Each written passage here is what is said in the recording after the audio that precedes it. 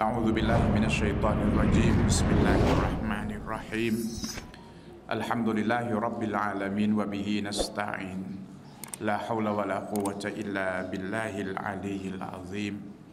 اللهم صل على نبينا محمد. السلام عليكم ورحمة الله وبركاته. ขอสันติความเมตตาความจำเริญจากเอกองค์เราสุบฮานะหัวตะอาลา ได้โปรดประสบแด่พี่น้องผู้มีเกียรติที่รักและเคารพทุกท่านนะครับ อัลฮัมดุลิลละขอชุกรขอบคุณต่อลอสุบฮานะฮูวะตาลาอีกครั้งหนึ่งนะครับ ที่พระองค์ได้ทรงประทานโอกาสอันดีให้พวกเราได้กลับมาร่วมกันเรียนรู้เรื่องราวของอัลอิสลาม ก็ในสัปดาห์นี้นะครับ มีพี่น้องที่ติดภารกิจกันเยอะเลยนะครับและช่วงนี้ก็เป็นช่วงที่หลายคนป่วยนะครับไม่สบาย พี่น้องแจ้งลากับผมมาหลายท่านเลยนะครับ บอกว่าไม่สบายตอนนี้นะครับ จะอย่างไรก็แล้วแต่นะเราขอดุอาจากอัลลอฮฺสุบฮานะฮูวตาลาให้ตัวเราเองนะครับแล้วก็ให้พี่น้องของเราทุกคนเลยทั้งพี่น้องมุสลิมีน พี่น้องมุสลิมะนะครับมีสุขภาพร่างกายที่แข็งแรง ใครที่เป็นอะไรอยู่ตอนนี้นะนะครับ จะเป็นไข้เป็นอะไรก็แล้วแต่ ขอดุอาจากอัลลอฮฺสุบฮานะตาลาให้นะครับโรคภัยไข้เจ็บต่างๆเนี่ยบรรเทาทุเลาหายลง นะครับ อย่าเจ็บอย่าไข้อะไรมากมายนะครับ เพราะว่าโรคภัยไข้เจ็บเนี่ยมันจริงอยู่นะครับ เป็นบททดสอบจากอัลลอฮฺสุบฮานะฮูวะตาลา แต่เวลาเดียวกันมันก็นะครับลดทอนความเข้มแข็งสมรรถภาพ สมรรถนะในการทำอามัลอิบาดะนะครับในการทำกิจกรรมต่าง ๆ ของพวกเรา วันนี้มีพี่น้องมุสลิมีน พี่น้องมุสลิมะนะครับหลายคนป่วยกัน เมื่อสักครู่ปรเรียมก็บอกว่าน้องสาวนะครับ อันนี้ไมมูนะก็ป่วยนะครับ แถวบ้านผมนี่ป่วยกันเยอะเลยนะครับ ที่บ้านผมก็ป่วยกันนะครับ เพราะว่าโดนฝนบ้างโดนอะไรบ้างนะครับสภาพอากาศเปลี่ยนสุขภาพของเราหลายคนก็เปลี่ยนตาม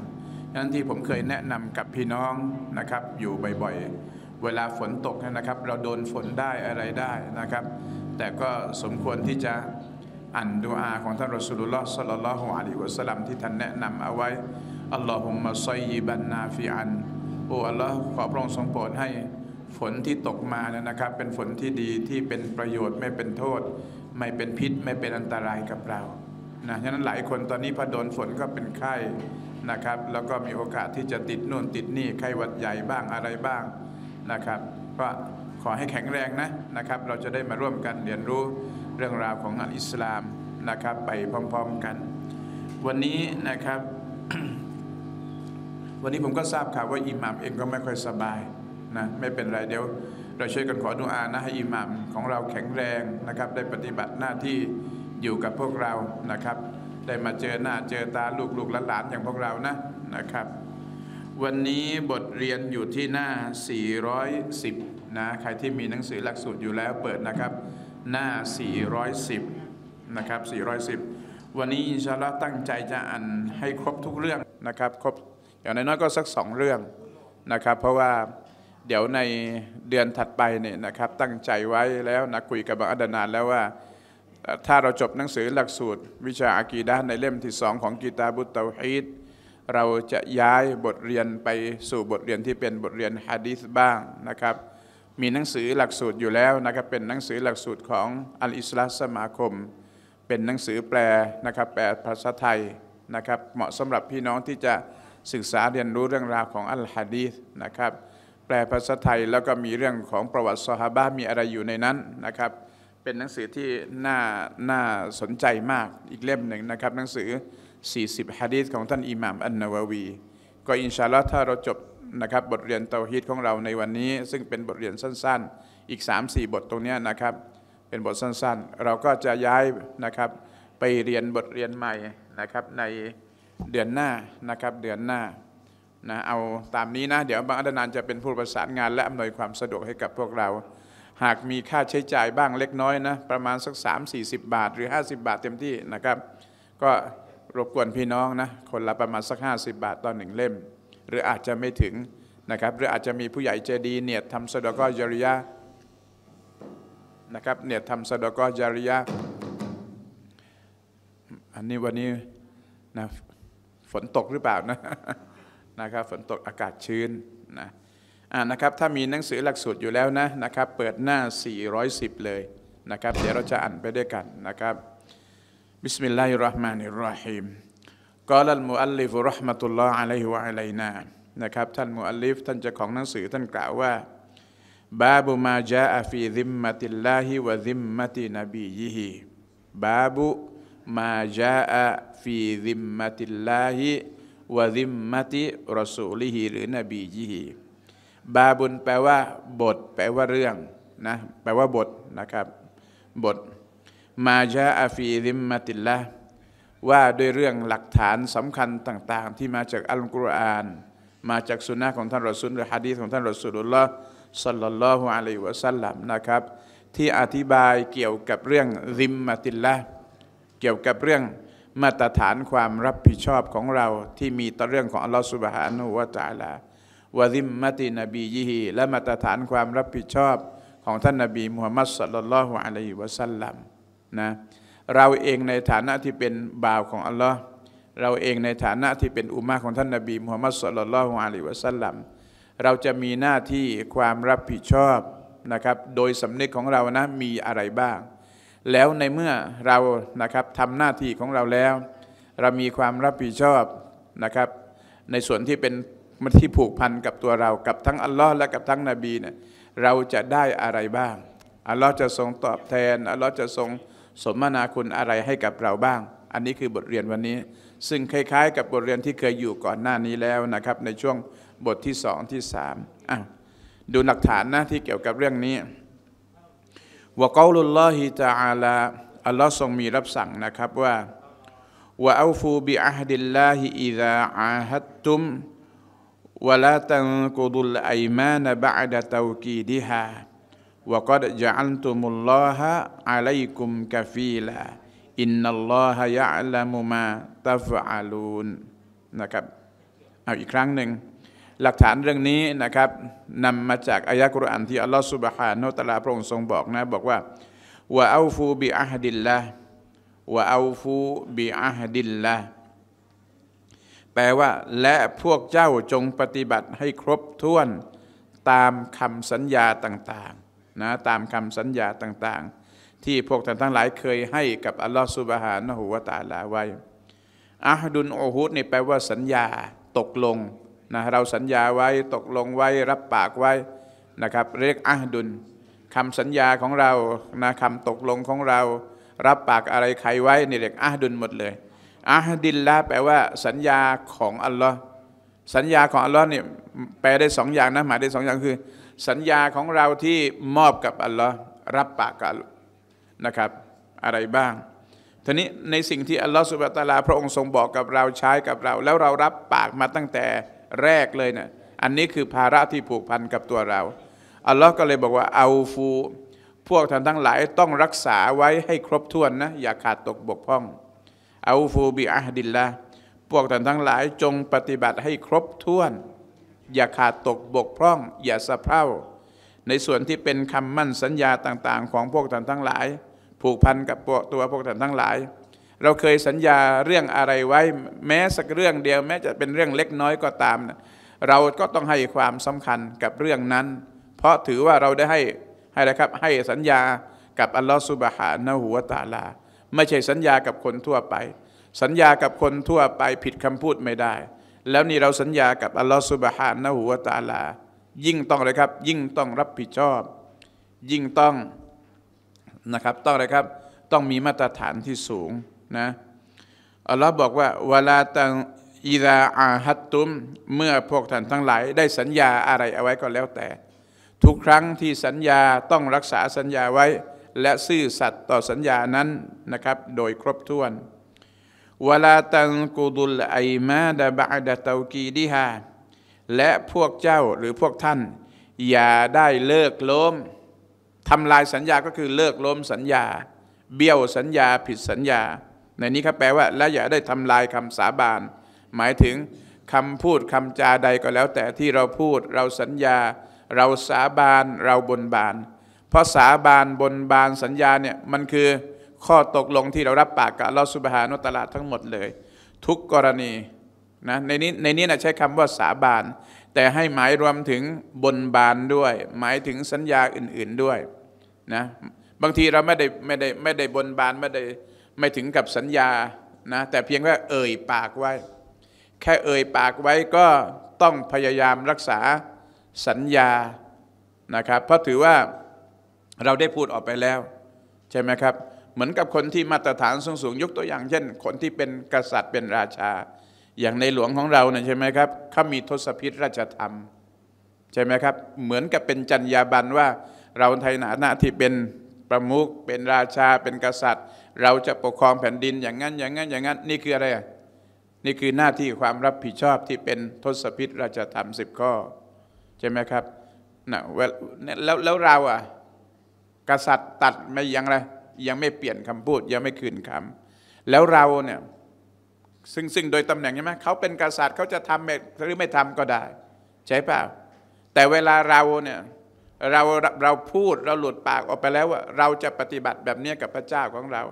แล้วถ้าเราไม่ไม่รักษาคำพูด ก็เท่ากับเราเราเนี่ยไม่ให้เกียรติไม่ให้ความสำคัญ หรือไม่เห็นความสำคัญ ไม่เห็นหัวของพระเจ้านะไม่ให้ความสำคัญเลย ฉะนั้นอัลลอฮ์ก็เลยบอกวาลาตังกูดุลไอมานะบะดะเตากีดีฮาและพวกท่านทั้งหลายอย่าได้เลิกล้ม อย่าได้ทำลายนะครับ คำสาบานของพวกท่านทั้งหลายหลังจากที่พวกท่านทั้งหลายได้ยืนยันอย่างหนักแน่นแล้วเป็นมั่นเป็นเหมาะแล้ว บางครั้งอย่างครั้งที่ครั้งที่ผ่านมาเนี่ยเราพูดถึงเรื่องการสาบานใช่ไหมครับ พอบอกวันลอยฮี่ปุ๊บแล้วไม่รักษาคำพูดนี่แสดงว่าอ่าเหมือนกับโกหกเลยแหละ คือโกหกดีๆเลย พูดแล้วไม่ทำใช่ไหมครับแล้วนี่เราพูดกับใครพูดกับละสุบฮานะฮูวะตาลาและการยืนยันคำสาบานของเราด้วยการอัญเชิญพระนามของอัลลอฮ์ ก็เท่ากับมันมัดตัวเราเลยนะมัดตัวเราแล้ว งั้นต้องทำให้ครบถ้วนสมบูรณ์ อย่าขาดตกบกพร่องในหน้าที่ความรับผิดชอบส่วนนี้นะครับวก็จะอันตุมุลลอฮะอะลัยกุมวะกีลาและแน่นอนพวกท่านทั้งหลาย ได้แต่งตั้งอัลลอฮฺสุบฮานตะลาหมายถึงได้มอบความไว้วางใจตรงนี้ ให้กับอัลลอฮฺสุบฮานะฮุวาตาลาไปแล้วนะครับ ว่าให้พระองค์เนี่ยยืนยันรับรอง นะครับ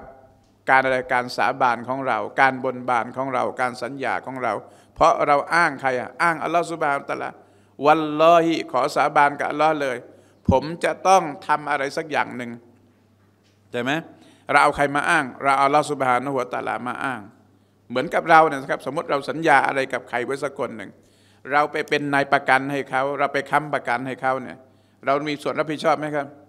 เราเองเรายังต้องมีส่วนรับผิดชอบเลย งั้นเวลาคนอื่นเขาเบี้ยวเนี่ยใครผิดด้วย เราติดร่างแหไปกับเขาด้วย นี่แค่เราเป็นนายประกันใช่ไหมครับ แต่นี่เราประกันตัวเราเองด้วยการอัญเชิญพระนามของอัลลอฮ์วัลลอฮีใช่ไหมครับ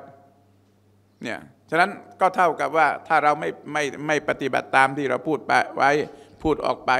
นั่นเท่ากับเบี้ยวคำพูดของเราเองนะครับเบี้ยวเบี้ยวคำพูดของเราเอง เบี้ยวสัญญาของเราเอง แล้วผลกระทบมันก็ไปกระทบกับใคร กับผู้ที่เรานำมาอ้าง ใช่ไหมครับ สมมุตินะ สมมุติผมเนี่ยลูกลูกมันดื้อครูฝ่ายปกครองเขาก็เชิญผมไป เชิญผมไปพบเนี่ยลูกลูกคุณเป็นอย่างนี้อย่างนี้นะ ผมก็รับปากกับครูแล้วผมจะต้อง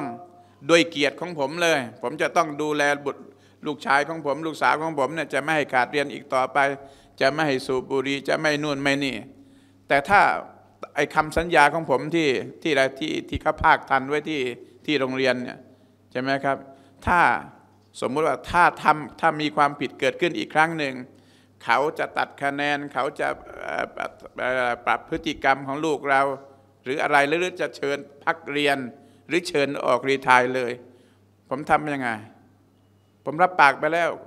ใช่ไหมครับ พูดไปแล้วรับปากไปแล้วด้วยเกียรติของผม เวลาผมทำไม่ได้ก็เท่ากับผมไม่มีเกียรติแล้วหมดเกียรติไปแล้ว เพราะแค่คำพูดรักษาไม่ได้ แสดงว่ามาตรฐานผมนี่ด้อยมากต่ำมาก งั้นแล้วยิ่งถ้าเราพูดเนี่ยพูดในฐานะผู้ศรัทธาแล้วกล้าที่จะอัญเชิญพระนามของอัลลอฮ์มาอ้างมาพูดถึง ก็ยิ่งต้องเชิดชูเพื่อไม่ให้ด่างพร้อยกับพระองค์อัลลอฮ์สุบฮานะฮูวะตาลาเข้าใจนะนะครับอัลลอฮ์จึงบอกว่า อินนัลลอฮยะละมุมาตาฟาลูนแท้จริงอัลลอฮฺสุบานตะลาพระองค์ทรงรอบรู้ทั้งหมดเลย ในสิ่งที่พวกท่านทั้งหลายทำลงไป งั้นพอหลายทำอะไรลงไปเนี่ยอย่านึกนะว่าอัลลอฮ์ไม่รู้ แล้วเวลาอัลลอฮ์รู้ว่าสิ่งที่หลายทำไปเนี่ยได้แต่พูดดีแต่ปากแล้วทำไม่ได้ อย่านึกว่าเราจะปล่อยให้อะไร ให้ลอยหน้าลอยลอยตาอยู่แบบนี้ไปตลอดนะอัลลอฮ์ให้มาลิกาจดทั้งหมดเลย เพราะเวลาจะเอาดีเนี่ยอ้างใครอ้างอัลลอฮ์ แต่เวลาทำไม่ได้ ก็อะไรทำเป็นไม่รู้ไม่ชี้นะทำเป็นไม่รู้ไม่ชี้กับอัลลอฮ์สุบฮานตะลา และมันเหมือนกับโกหกโกหกใครโกหกใส่อัลลอฮ์สุบฮานะฮุวาตาลา ฉะนั้นอัลลอฮ์บอกเอาละโลกโลกนี้เองเองเองเองโกหกได้ เองอ้างข้าได้ เองอะไรได้ทุกอย่างเลย แต่โลกหน้าข้าไม่ปล่อยให้เองลอยหน้าลอยตาอยู่ได้หรอกข้าต้องเอาคืนนะข้าต้องอะไรข้าต้องเอาคืนอัลลอฮ์ก็จะลงโทษเราในโลกหน้า นะเหมือนกับที่อัลลอฮ์จะบอกในตอนท้ายนะ่ะเองทำอะไรไปนะเองอย่านึกนะว่าข้าไม่รู้ เอาข้าไปอ้างสารพัดอย่างนะเอาข้าไปอ้างโน่นอ้างนี่นะเหมือนเราอะนะครับ สมมุติว่าใครมันเป็นไปโกหกอะไรแล้วแต่มันอ้างถึงเราเนี่ยแล้วเวลาเสียเสียใครอะเสียเราใช่ไหมครับ สมมุติผมเนี่ยผมทำผิดอะไรที่อย่างหนึ่งผมขับรถเกินความเร็วเกินไงฮะ ก็ขับขับรถเกินความเร็วทีเขาเขาอนุญาต หรือฝ่าผ่าไฟแดงแล้วก็แล้วแต่ พอเขาตำรวจเขาเรียกผมจอดจาผมเนี่ยเด็กของอิหมัมนะ เอาใครไปอ้างฮะเนี่ยผมผมเนี่ยเป็นญาติกับปรเรียมนะ ได้ไหมผมไม่อ้างอิหมัมอิหมัมอิหมัมเสียไหมตอนนี้เขาเกรงใจใคร เกรงใจอิหมัมแต่เขาก็ต้องปล่อยให้ผม อ่าปล่อยไป แต่เวลาเสียเสียอิหมัม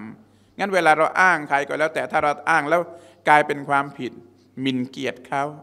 นะครับ แล้วถ้าอ้างเบื้องสูง ถ้าอ้างสถาบันเขาบอกอะไรนะมินพระบรมเดชานุภาพ ใช่ป่ะอ่าอย่างอย่างคดีทุกวันเนี่ยนะครับในแต่ละในแต่ละในแต่ละเดือนเนี่ยนะครับ จะมีเขาเรียกอะไรนะ ถอดยศ ถอดยศใช่ไหมครับ ในหลวงทรงมีทรงโปรดเกล้าถอดยศคืนเครื่องราช เพราะอะไรอะคนที่คนที่พระองค์คนที่ในหลวงไว้วางพระไทยแต่งตั้งให้มอบเครื่องราชให้ แทนที่จะทำและให้สมพระเกียรติกับพระองค์ ไปทำความผิดไปทำนู่นทำนี่อะไรก็แล้วแต่ แล้วดีไม่ดีอ้างเบื้องสูงพระอ้างเบื้องสูงระคายเคืองไงระคายเคืองในหลวงใช่ไหมครับ ในที่สุดพอมีความผิดขอคืนเครื่องราชปลด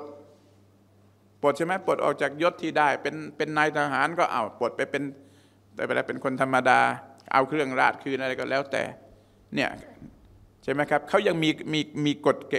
กฎเกณฑ์ของของของเขาในการปกครอง แล้วนี่เวลาเราสาบานนี่เราหมิ่นเกียรติใคร อ้างอัลลอฮฺสุบฮานุตาลา แต่พออ้างไปแล้วเรากลับไม่รักษาพระเกียรติของอัลลอฮฺสุบฮานะหูวาตาลาอะอายะกุรอานอายะนี้เข้าใจแล้วนะนะครับ เดี๋ยวเราไป อายะถัดไปเลยนะครับเผื่อเราจะมีโอกาสเรียนได้สักสักสองบทวันนี้ หลักฐานต้นต่อมานะ พี่น้องดูหน้า 413 ใครที่ไม่เข้าใจหรือว่ายังสงสัยอยู่ยกมือถามได้เลยนะนะครับยกมือถามได้เลยนะครับ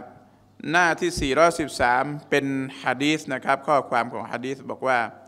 อันบุรอยดะตรอดิยัลลอฮุตะอาลาอันฮูฮะดีษบทนี้จากท่านบุรอยดะรอดิยัลลอฮุอันฮูเป็นสฮาบะ เรารู้ว่าเป็นสฮาบะเพราะหลังชื่อมีคำว่ารอดิยัลลอฮุอันฮูพี่น้องจำนะ ถ้ามีรอดิยัลลอฮุอันฮูเป็นอะไรเอ่ย เป็นสฮาบะมีชื่อและหลังชื่อมีอะลัยฮิสสลามเป็นนบี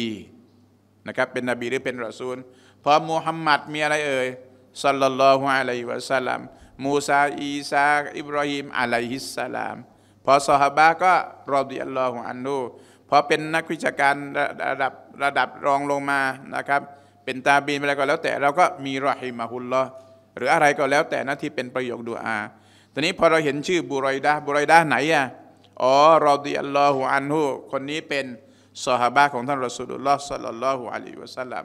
ท่านบุรอยดารายงานนะเราฟังนะครับว่าเขารายงานไว้อย่างไร บอกการรอสูลุลลอฮ์สัลลัลลอฮุอะลัยฮิวะสัลลัมอิดะอัมมารอามีรัน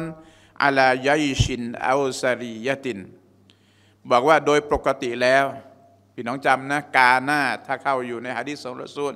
แล้วรายงานว่ารอซูลแบบนั้นแบบนั้น ให้หมายถึงว่าเป็นประจำสม่ำเสมอถือปฏิบัติแบบนี้เป็นประจำการรอซูลุลละรอซูลถือปฏิบัติมาโดยตลอดก็คือ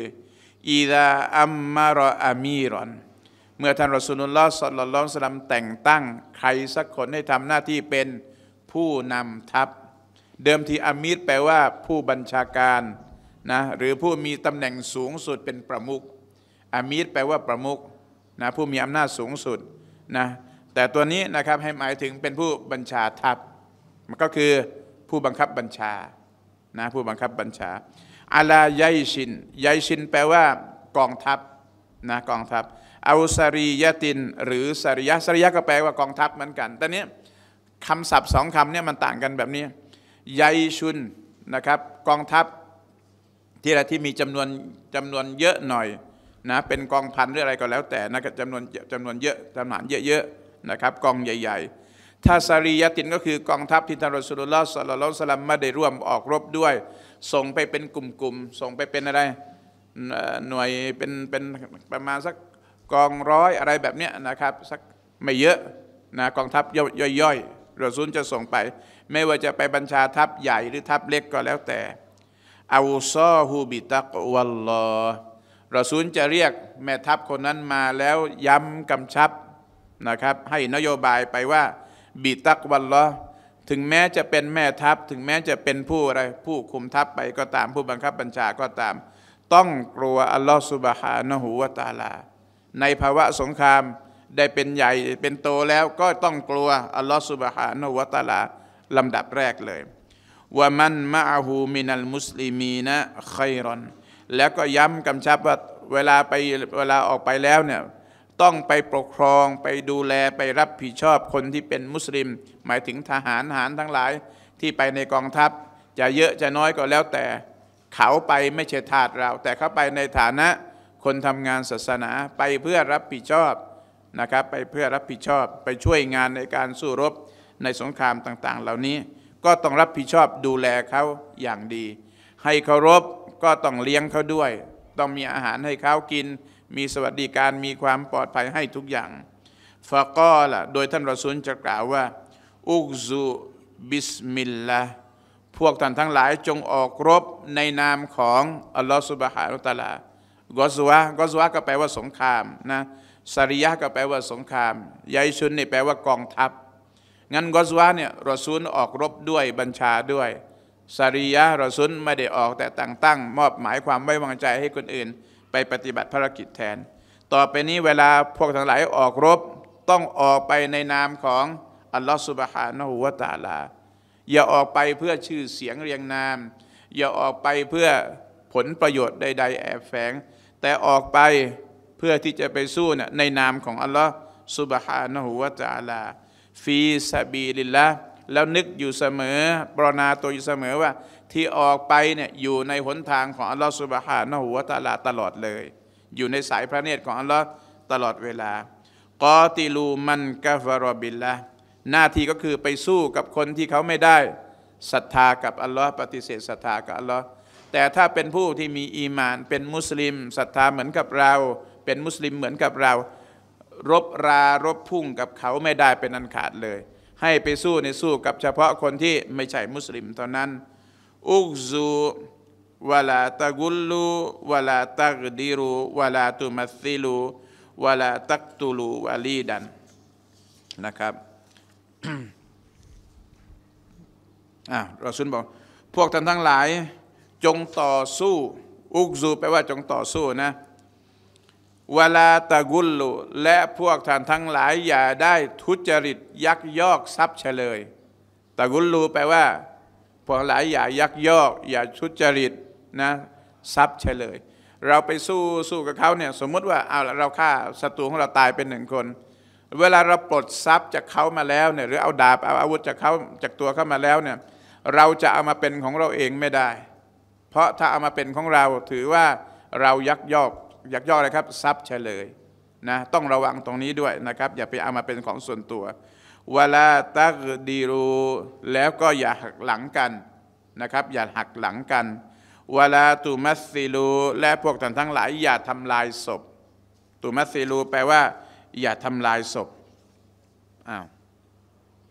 เราสุนห้ามกี่อย่างนั้นนานี้ผ่านมาเนี่ยห้ามห้ามยักยอกทรัพย์นะทรัพย์โดยเฉพาะทรัพย์เฉลย นะเวลาตักดีรุอย่าอย่าหักหลังกัน อย่าบิดพิ้วกัน อย่าหนีสงคราม สู้ก็สู้ไปด้วยกัน เป็นอะไรเป็นด้วยกัน อันนี้อะไรครับเวลาตักดิรุเวลาตุมัสซิลูและอย่าทำลายศพ ถึงแม้จะเป็นศพของฝ่ายศัตรูก็ตามทำลายศพก็คือ พอเขาล้มลงไป เขาตายแล้วเนี่ยยังเอามีดคว้านท้องเขาอีก ยังเอามีดปาดหูเขาอีก ยังตัดจมูกเขาอีก ยังทำลายบางคนเอามีดกรีดตามเนื้อตามตัวให้ให้อะไร ให้สาแก่ใจนะเครียดแค้นเขาอย่าไปทำแบบนั้น ถือเป็นการทำลายศพเนี่ยบาปบาปใหญ่ด้วยนะท่านรอสุลลอฮ์สัลลัลลอฮุสลัมเคยเห็นคุณลุงของท่านก็คือท่านฮัมซะฮ์รอดิยัลลอฮุตาลาอันฮุนะครับถูกวาชีบินฮัดวาชีบินฮัดเนี่ยเอาเอาหลาวอะนะพุ่งแทงจนกระทั่งจากทโดนตรงท้องน้อยเนี่ยไปทะลุออกตรงรูก้นเลยตายคาที่เลยนะครับ แล้วก็ถูกนางหินนางหินดุนนะครับ เอามีดมานะครับ มาจิ้มตา จิ้มตาสองข้างเลยปาดหู ริมฝีปากเนี่ยตัดออกหมดเลยนะครับ ตัดริมฝีปากออก แล้วก็เอาดั้มมีดนะนะดั้มมีดนะกระแทกฟันหักหมดเลย ความที่ว่าเครียดแค้นอาฆาตนะครับ ก็เลยทำลายศพของฮัมซะห์รอซูลไปเห็นแล้วสงสารอเนจอนาถมากเลยนะครับ ตับไตไส้พุงนะครับโดนคว้านโดนฟันเละเลยเพราะนางหินความอาฆาตนะนะ อยากจะเอาหัวใจของของใครของฮัมซะห์ฮัมซะห์เนี่ยฆ่าสามีนางหิน ตอนประลองฝีมือกันประลองดาบกันใช่ไหมครับ ก็เครียดแค้นมาก็เลยตัดเอาหัวใจเอามัมเอาปอดอะไรมา แล้วก็มาสับสับสับสับระบายความแค้น แล้วก็กินเคี้ยว พอเคี้ยวตอนนั้นแหละมันเหม็นคาวใช่ไหมครับ ก็อ้วกออกมาหมดเลย ไม่ได้กินรอสุลลอฮ์สัลลัลลอฮุสลัมนะครับมาทราบว่านางหินเนี่ย อยากจะกินอะไรอยากจะระบายแค้นนะนะระบายความอาฆาตอยากจะสับสับสับแล้วเอามากินให้สาแก่ใจนะรอสุลบอกว่าถ้านางหินกินไปสักคำเดียวเท่านั้นนะเนื้อของฮัมซากระดูกของฮัมซาเนี่ยถ้าลงไปอยู่ในตัวในท้องของนางหิน แล้วนางหินตกนรกนะนางหินจะไม่ร้อนแม้แต่นิดเดียว ไฟนรกทำอะไรนางหินไม่ได้ทั้งทั้งที่นางหินดุลเนี่ยเป็นเป็นอะไรเป็นผู้ที่ฆ่าฮัมซา นะครับด้วยด้วยกรมาที่อัลลอฮฺสุบตราให้กับท่านฮัมซาถ้าเนื้อของฮัมซาสักคำหนึ่งก้อนหนึ่งชิ้นหนึ่งเนี่ยกลืนลงไม่ได้นะเนื้อก้อนนั้นเป็นเนื้อที่อัลลอฮ์ทรงปกป้องคุ้มครองแล้ว ใครที่ได้กินเนื้อนั้นไปก็ไฟนรกทำอะไรเขาไม่ได้เลย แต่อัลลอฮ์ไม่ให้นางยินกืนลงคออ้วก ในที่สุดรอดไป นางหินก็ต้องถูก ถูกอะไรครับ ถ้าอัลลอฮ์ทรงประสงค์ก็ถูกดำเนินคดีไปตามปกติ อันนี้เป็นเกียรตินะนะครับวลาตักตูลูวาลีดันวลาตักตูลูวาลีดัน และพวกท่านทั้งหลายอย่าไปสังหารเด็กวาลิดแปลว่าเด็กใครใครที่ตั้งชื่อลูกหรือหลานวาลิดวาลิดวาลีดุนแปลว่าเด็กเล็กวาลาดุนก็เด็กวาลีดุนก็เด็กนะอย่าฆ่าเด็กอะแล้วดูตอนนี้นะครับ ตอนนี้สงครามที่เกิดขึ้นในหลาย ๆ ประเทศ นะครับโดยเฉพาะกับประเทศปาเลสไตน์นะพี่น้องเห็นภาพสงครามใช่ไหมครับประชาชนผู้บริสุทธิ์ที่เสียชีวิตนะครับ30กว่าเปอร์เซ็นต์เนี่ยเป็นเด็กเด็กเล็กด้วยนะครับเด็กเล็กด้วย ผู้หญิงนะครับคนแก่คนชราอย่างล่าสุดที่มันไปทิ้งไอ้ทิ้งอะไรทิ้งระเบิดนะครับ ในราฟ้าน่ะพี่น้องเห็นไหมครับ ผู้บริสุทธิ์ทั้งหมดเลย แล้วตายเป็นเบือเลย เพียงแต่ว่าภาพข่าวที่ที่เราดูกันในช่องทีวีของเราเนี่ยมันไม่มีนะแต่ถ้าพี่น้องไปดูใน YouTube ในอะไรพวกนี้นะหรือว่าแหล่งข่าวบางบางช่องบางบาง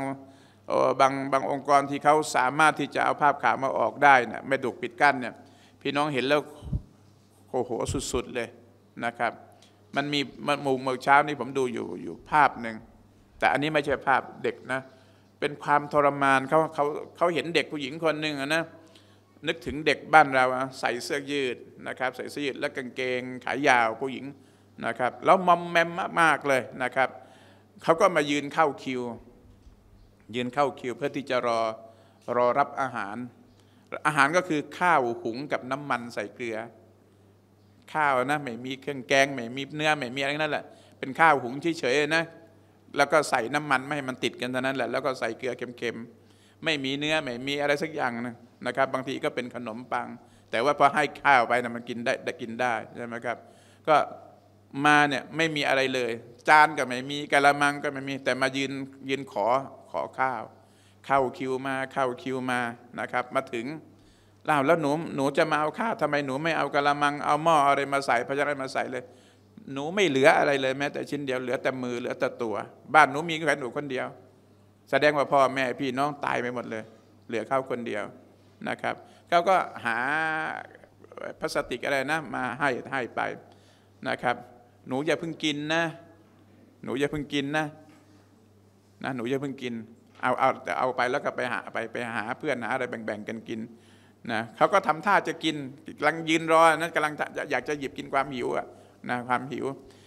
คนที่เขาสัมภาษณ์ก็บอกหนูอย่าเพิ่งใช้มือหยิบสิอย่าอย่าเพิ่งหยิบกิน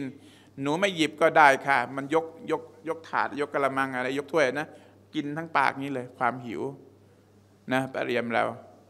วันนี้กินข้าวกันยังเนี่ยฮะกินแล้วแกงอะไรปรเรียมฮะกินก๋วยเตี๋ยว ผมก็กินก๋วยเตี๋ยวนะครับ เรากินโน่นกินนี่นะครับ แต่เด็กปาเลสไตน์นี่ไม่มีอะไรกิน เขาบอกว่าอย่าเพิ่งหยิบกินนะไม่หยิบก็ได้ แต่ก้มลงไปเอาปาก กินเลย กินข้าวเม็ดๆ ความอดอยาก งั้นขอดูอาให้เขาเยอะๆ เราช่วยอะไรเขาไม่ได้ก็ช่วยดูอาก็ยังดี อย่าไปซ้ำเติมครับ หลายคนสมน้ำหน้าเขาเอาจริงอยู่นะปาเลสไตน์อาจจะมีอะไรผิดพลาดบ้างอะไรก็แล้วแต่ แต่ว่าเวลาความสูญเสียที่มันเกิดขึ้นเนี่ยมันเกิดขึ้นกับพี่น้องมุสลิมของเรา หลายคนไปซ้ำเติมเขาสมน้ำหน้าดีแล้วอยู่ดีๆ ไปยิงเขาทำไมไอ้นั้นมันเรื่องคนยิง และคนที่ไม่ได้ยิงนะ่ะใครยิงเด็กยิงไหม เด็กมันก็ไม่ได้ยิง คนแก่ก็ไม่ได้ยิง ผู้หญิงก็ไม่ได้ยิงผู้บริสุทธิ์ก็ไม่ได้ยิง แต่มันเป็นเรื่องของฮามาสกับเรื่องเรื่องอะไรเรื่องอิสราเอลที่เขาสู้กันอยู่ แล้วก็สู้กันมานานนมเนแล้วไม่ได้เพิ่งจะมาสู้มามามานี่หรอกเขาสู้กันมาหลายสิบปี เป็นร้อยปีมาแล้วเขาสู้กันมาแบบนี้ แต่เวลามันเกิดเป็นสงครามขึ้นมาแล้วเนี่ยผู้บริสุทธิ์มันเดือดร้อน แล้วเราไปซ้ำเติมได้ไหมบางครั้งเราได้ยินพี่น้องมุสลิมเราพูด สมน้ำหน้า ไปสมน้ำหน้าเขาได้ยังไงครับ เขาลำบากเดือดร้อนนะครับ ทิ้งบ้านเกิดแผ่นดินของเขาไปเนี่ยนะครับจนกระทั่งตอนนี้ไม่เหลืออะไรแล้ว เหลือแผ่นดินสุดท้ายแล้วของพวกเขาอักซอก็จะไม่เหลือแล้วใช่ไหมอักซอก็จะไม่เหลือแล้ว อักซอนี่เป็นชุมทิศแรกของอะไรของบรรดาผู้ศรัทธา เราเคยนะครับหันหน้าละหมาดไปทางไบตุนมักดิสมาก่อน อิสราของนบีที่ขึ้นเขาเฝ้าอัลลอฮ์ก็ขึ้นจากอักซองั้นมันยังมีคุณค่าอยู่นะครับยังมี เป็นอะไรครับเป็นถึงแม้จะจะเป็นโบราณสถานเป็นอะไรอันนั้นก็เรื่องของเขาใช่ไหมครับ แต่เป็นสิ่งที่มีคุณค่าทางจิตใจ เป็นศาสนสถานของพวกเรา งั้นอยากให้พวกเราช่วยกันขอดุอาให้พี่น้องปาเลสไตน์อย่างน้อยๆให้สงครามมันยุติโดยเร็วนะตอนนี้ได้ข่าวว่าทางฮามาสก็พร้อมจะรับข้อเสนอข้อตกลงอะไรหลายๆอย่างที่อยากจะให้สงครามในมันยุติเพราะว่าความเสียหายมันเกิดขึ้นเยอะ แต่ว่าอย่างที่ว่านั้นมีพวกฮามาสฮามาสแปลว่า คึดจะสู้อย่างเดียวมันก็จะสู้อย่างเดียวนะครับ ไม่รู้ว่าอะไรเสียอะไรหาย มันก็มีนะครับ แต่ว่าเราขอดุอาให้ใครมุสตัดอาฟีน พี่น้องที่กำลังลำบากเดือดร้อนนะครับ อยู่ในขณะนี้ให้อัลลอฮ์ประทานทางออกที่ดีให้กับพวกเขาด้วยนะขอดุอาให้เขาช่วยอะไรเขาไม่ได้ก็อย่าไปซ้ำเติมเขาขอดุอาให้เขานะนี่อัลลอฮ์บอกเอ็นนบีบอกเวลาตักตูลูวาลีดัน เด็กนะอย่าไปฆ่ามันผู้บริสุทธิ์ แต่ว่าสิ่งที่เราเห็นนะอิสราเอลมันฆ่า นะครับสหรัฐมันอยู่เบื้องหลังนะครับ มันก็บอกอย่างนั้นอย่างนั้นอย่างนั้นแหละ มันบอกว่าไม่อยากให้มีสงคราม อยากให้ยุติ อยากให้เจรจา แต่มันก็ส่งอาวุธไม่เลิกนะครับส่งอาวุธไม่เลิกนะครับจนกระทั่งเนี่ยอาวุธ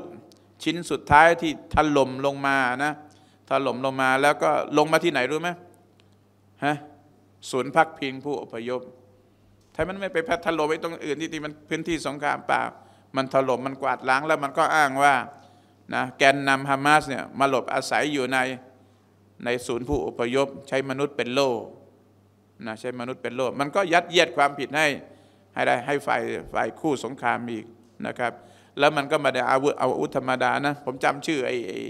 ไอ้จรวดของมันไม่ได้นะครับ ลูกลูกหลังๆ ที่มันถล่มลงมาในในในในศูนย์อพยพเนี่ยนะเป็นจรวดที่เขาเรียกว่ามัน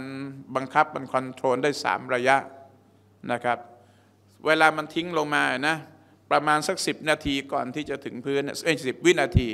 นะครับห้านาทีถึงสิบวินาทีนะมันสามารถที่จะบังคับให้ระเบิดบนอะไรบนบนผิวเนี่ยบนบนพื้นเนี่ยนะครับก่อนที่จะถึงถึงจุดเป้าหมายเนี่ยมันระเบิดพอระเบิดที่มันมันกระจายไปเหมือนในนั้นเลยเหมือนกับในภาพยนตร์อะมันไปทั่วหมดเลย ทั้งทั้งที่เป้าหมายในแค่จุดเดียวนี่แหละแต่เวลามันระเบิดแล้วทำลายล้าง สามารถทำลายล้างได้เป็น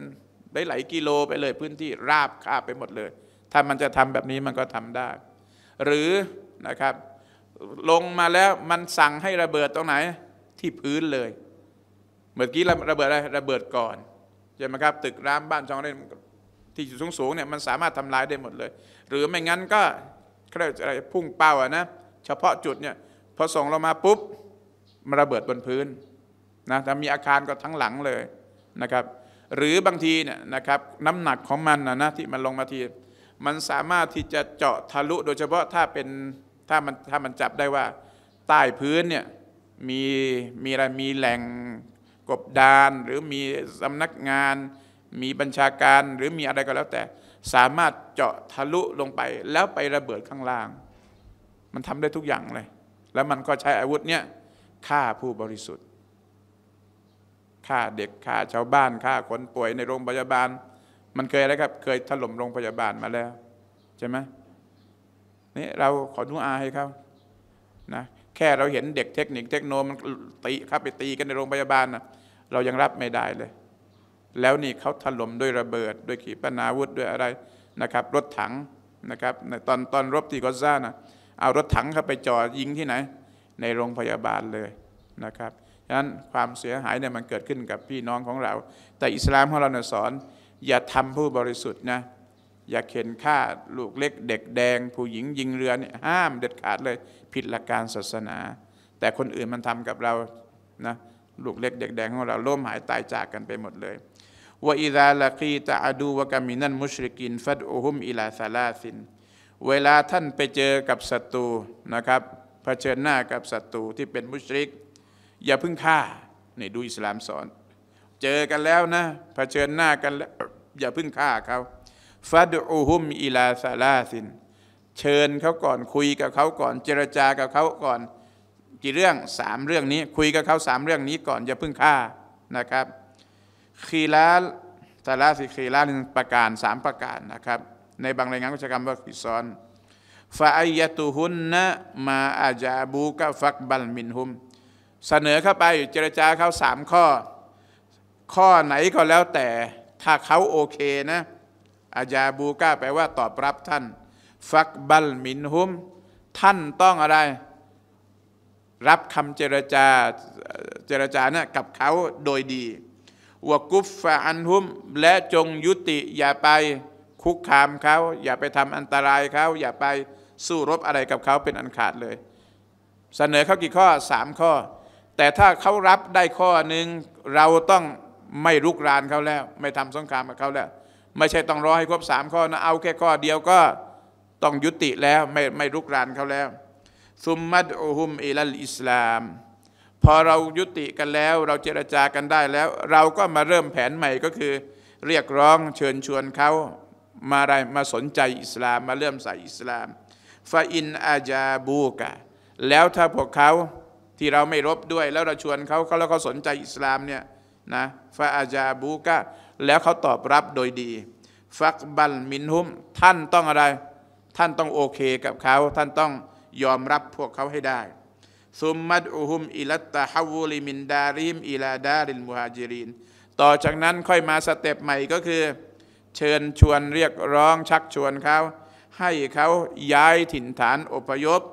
จากแผ่นดินของพวกเขามาอยู่กับแผ่นดินของใครแผ่นดินของบรรดา مهاجرين นะให้เขาย้ายถิ่นฐานมานะครับเพื่อให้เขามามาอะไรมามีสังคมใหม่ มาอยู่กับ مسلمين มาอยู่กับฝ่าย مسلمين เรานะครับ มาอยู่กับ دار السلام แผ่นดินที่เป็นแผ่นดินแห่งสันติوأخبرهم أنهم إن فعلوا ذلك فلهم ما للمهاجرين พอลาเขายินดีที่จะอพยพ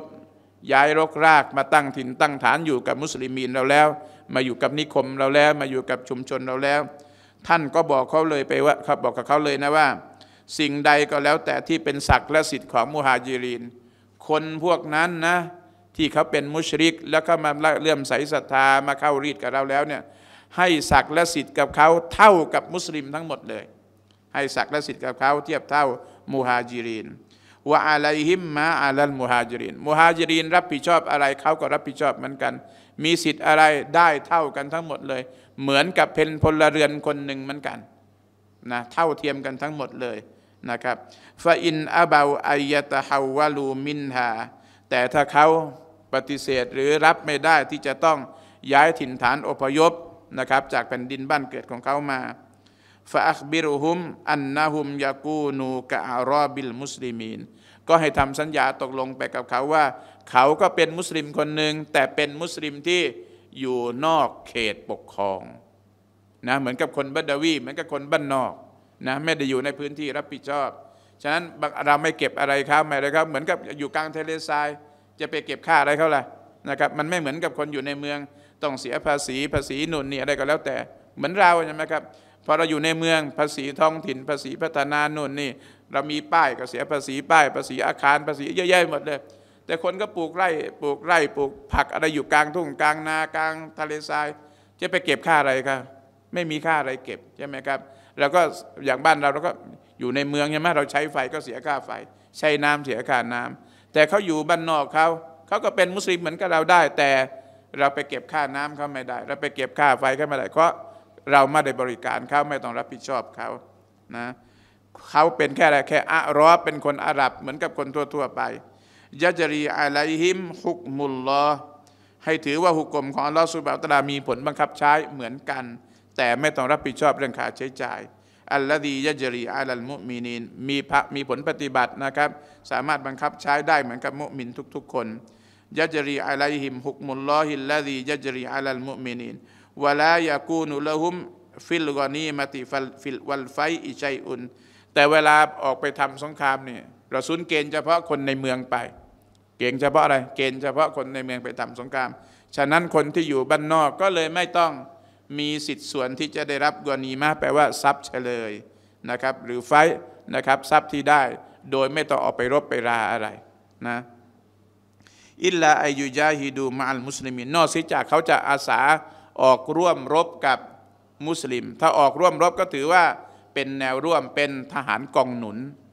เป็นทหารกองหนุนงั้นทหารแนวหน้าที่เขาออกไปทหารราบที่ออกไปโดยคำโดยโดยคำสั่งของผู้บัญชาเนี่ยผู้อะไรผู้บังคับบัญชาเนี่ยเขามีสิทธิ์ที่จะได้รับ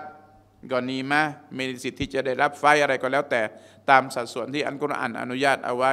แต่เวลาคนอาหรับบ้านนอกมาร่วมอาสาก็ถือว่าเหมือนกับทหารรับจ้าง เหมือนกับทหารกองหนุนก็ ได้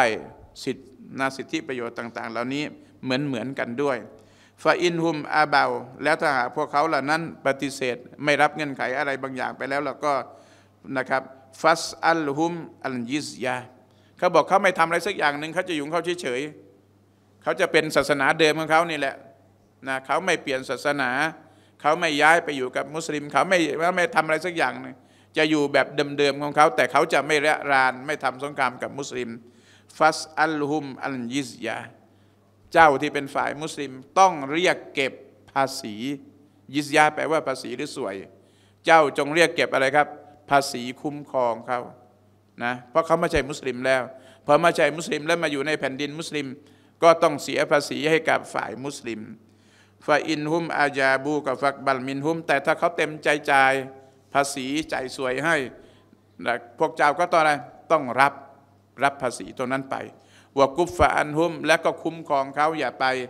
ทำร้ายทำลายนักเข็นฆ่าเขาเป็นอันขาดเลยฟาอินหุมอาเบาแต่พวกเขา แต่ถ้าพวกเขานะครับปฏิเสธ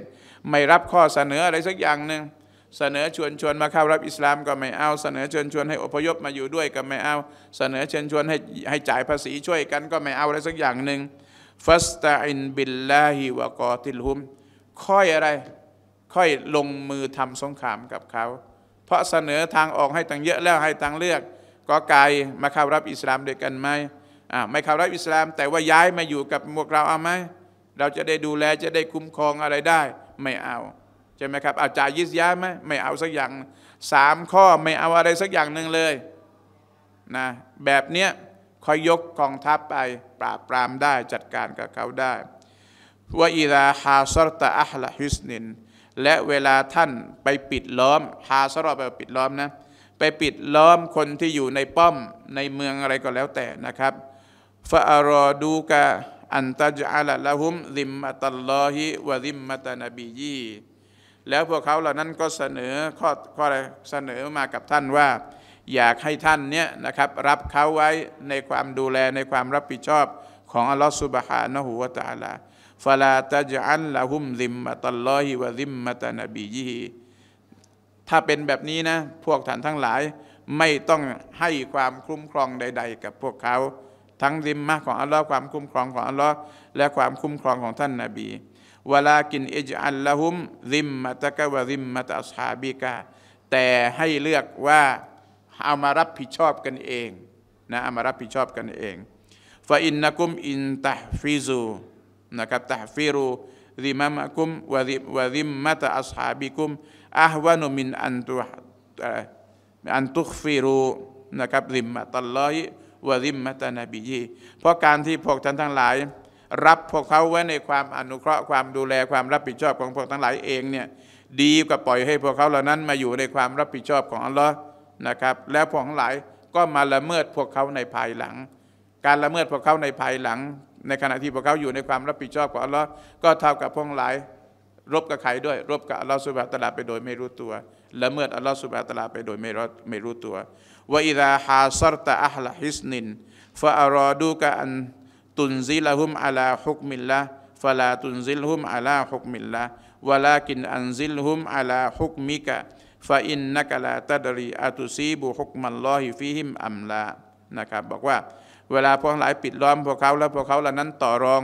ให้พวกท่านทั้งหลายเนี่ยตัดสินนะครับหรือว่านำเขาเข้าสู่กระบวนการของอัลลอฮฺสุบฮานะฮูวะตาลานำเข้าสู่กระบวนการการตัดสินของใครของอัลลอฮฺสุบฮานะตาลาของนบีพวกหลายอย่าไปยอมเป็นอันขาดเลย เพราะบางครั้งพวกท่านทั้งหลายอาจจะเจรจาสู้เขาไม่ได้อะไรไม่ได้ และบางครั้งด้วยความเกรงใจด้วยอะไรหลาย ๆ อย่าง อาจจะทำให้พวกทั้งหลายเนี่ยผิดพลาดในการตัดสินในการดำเนินคดีอะไรกับเขานะครับฉะนั้น พวกท่านทั้งหลายนะครับไม่รู้หรอกว่าพวกท่านทั้งหลายเนี่ยนะครับ จะทำให้พวกเขาเหล่านั้นทำถูกกับพวกเขาเหล่านั้นหรือทำผิดงั้นสิ่งใดก็แล้วแต่ที่เป็นเรื่องที่มันจะต้องรบกวนกับเบื้องสูงเนี่ยเราอย่าเอาพวกเขาเหล่านั้นไปเกี่ยวข้องกับเบื้องสูงนะอย่าไปเกี่ยวข้องกับเบื้องสูง แต่ให้เป็นเป็นเรื่องของเราเป็นการตัดสินใจของเรา ถ้าจะผิดจะได้ผิดที่เรา ไม่ใช่ผิดแล้วก็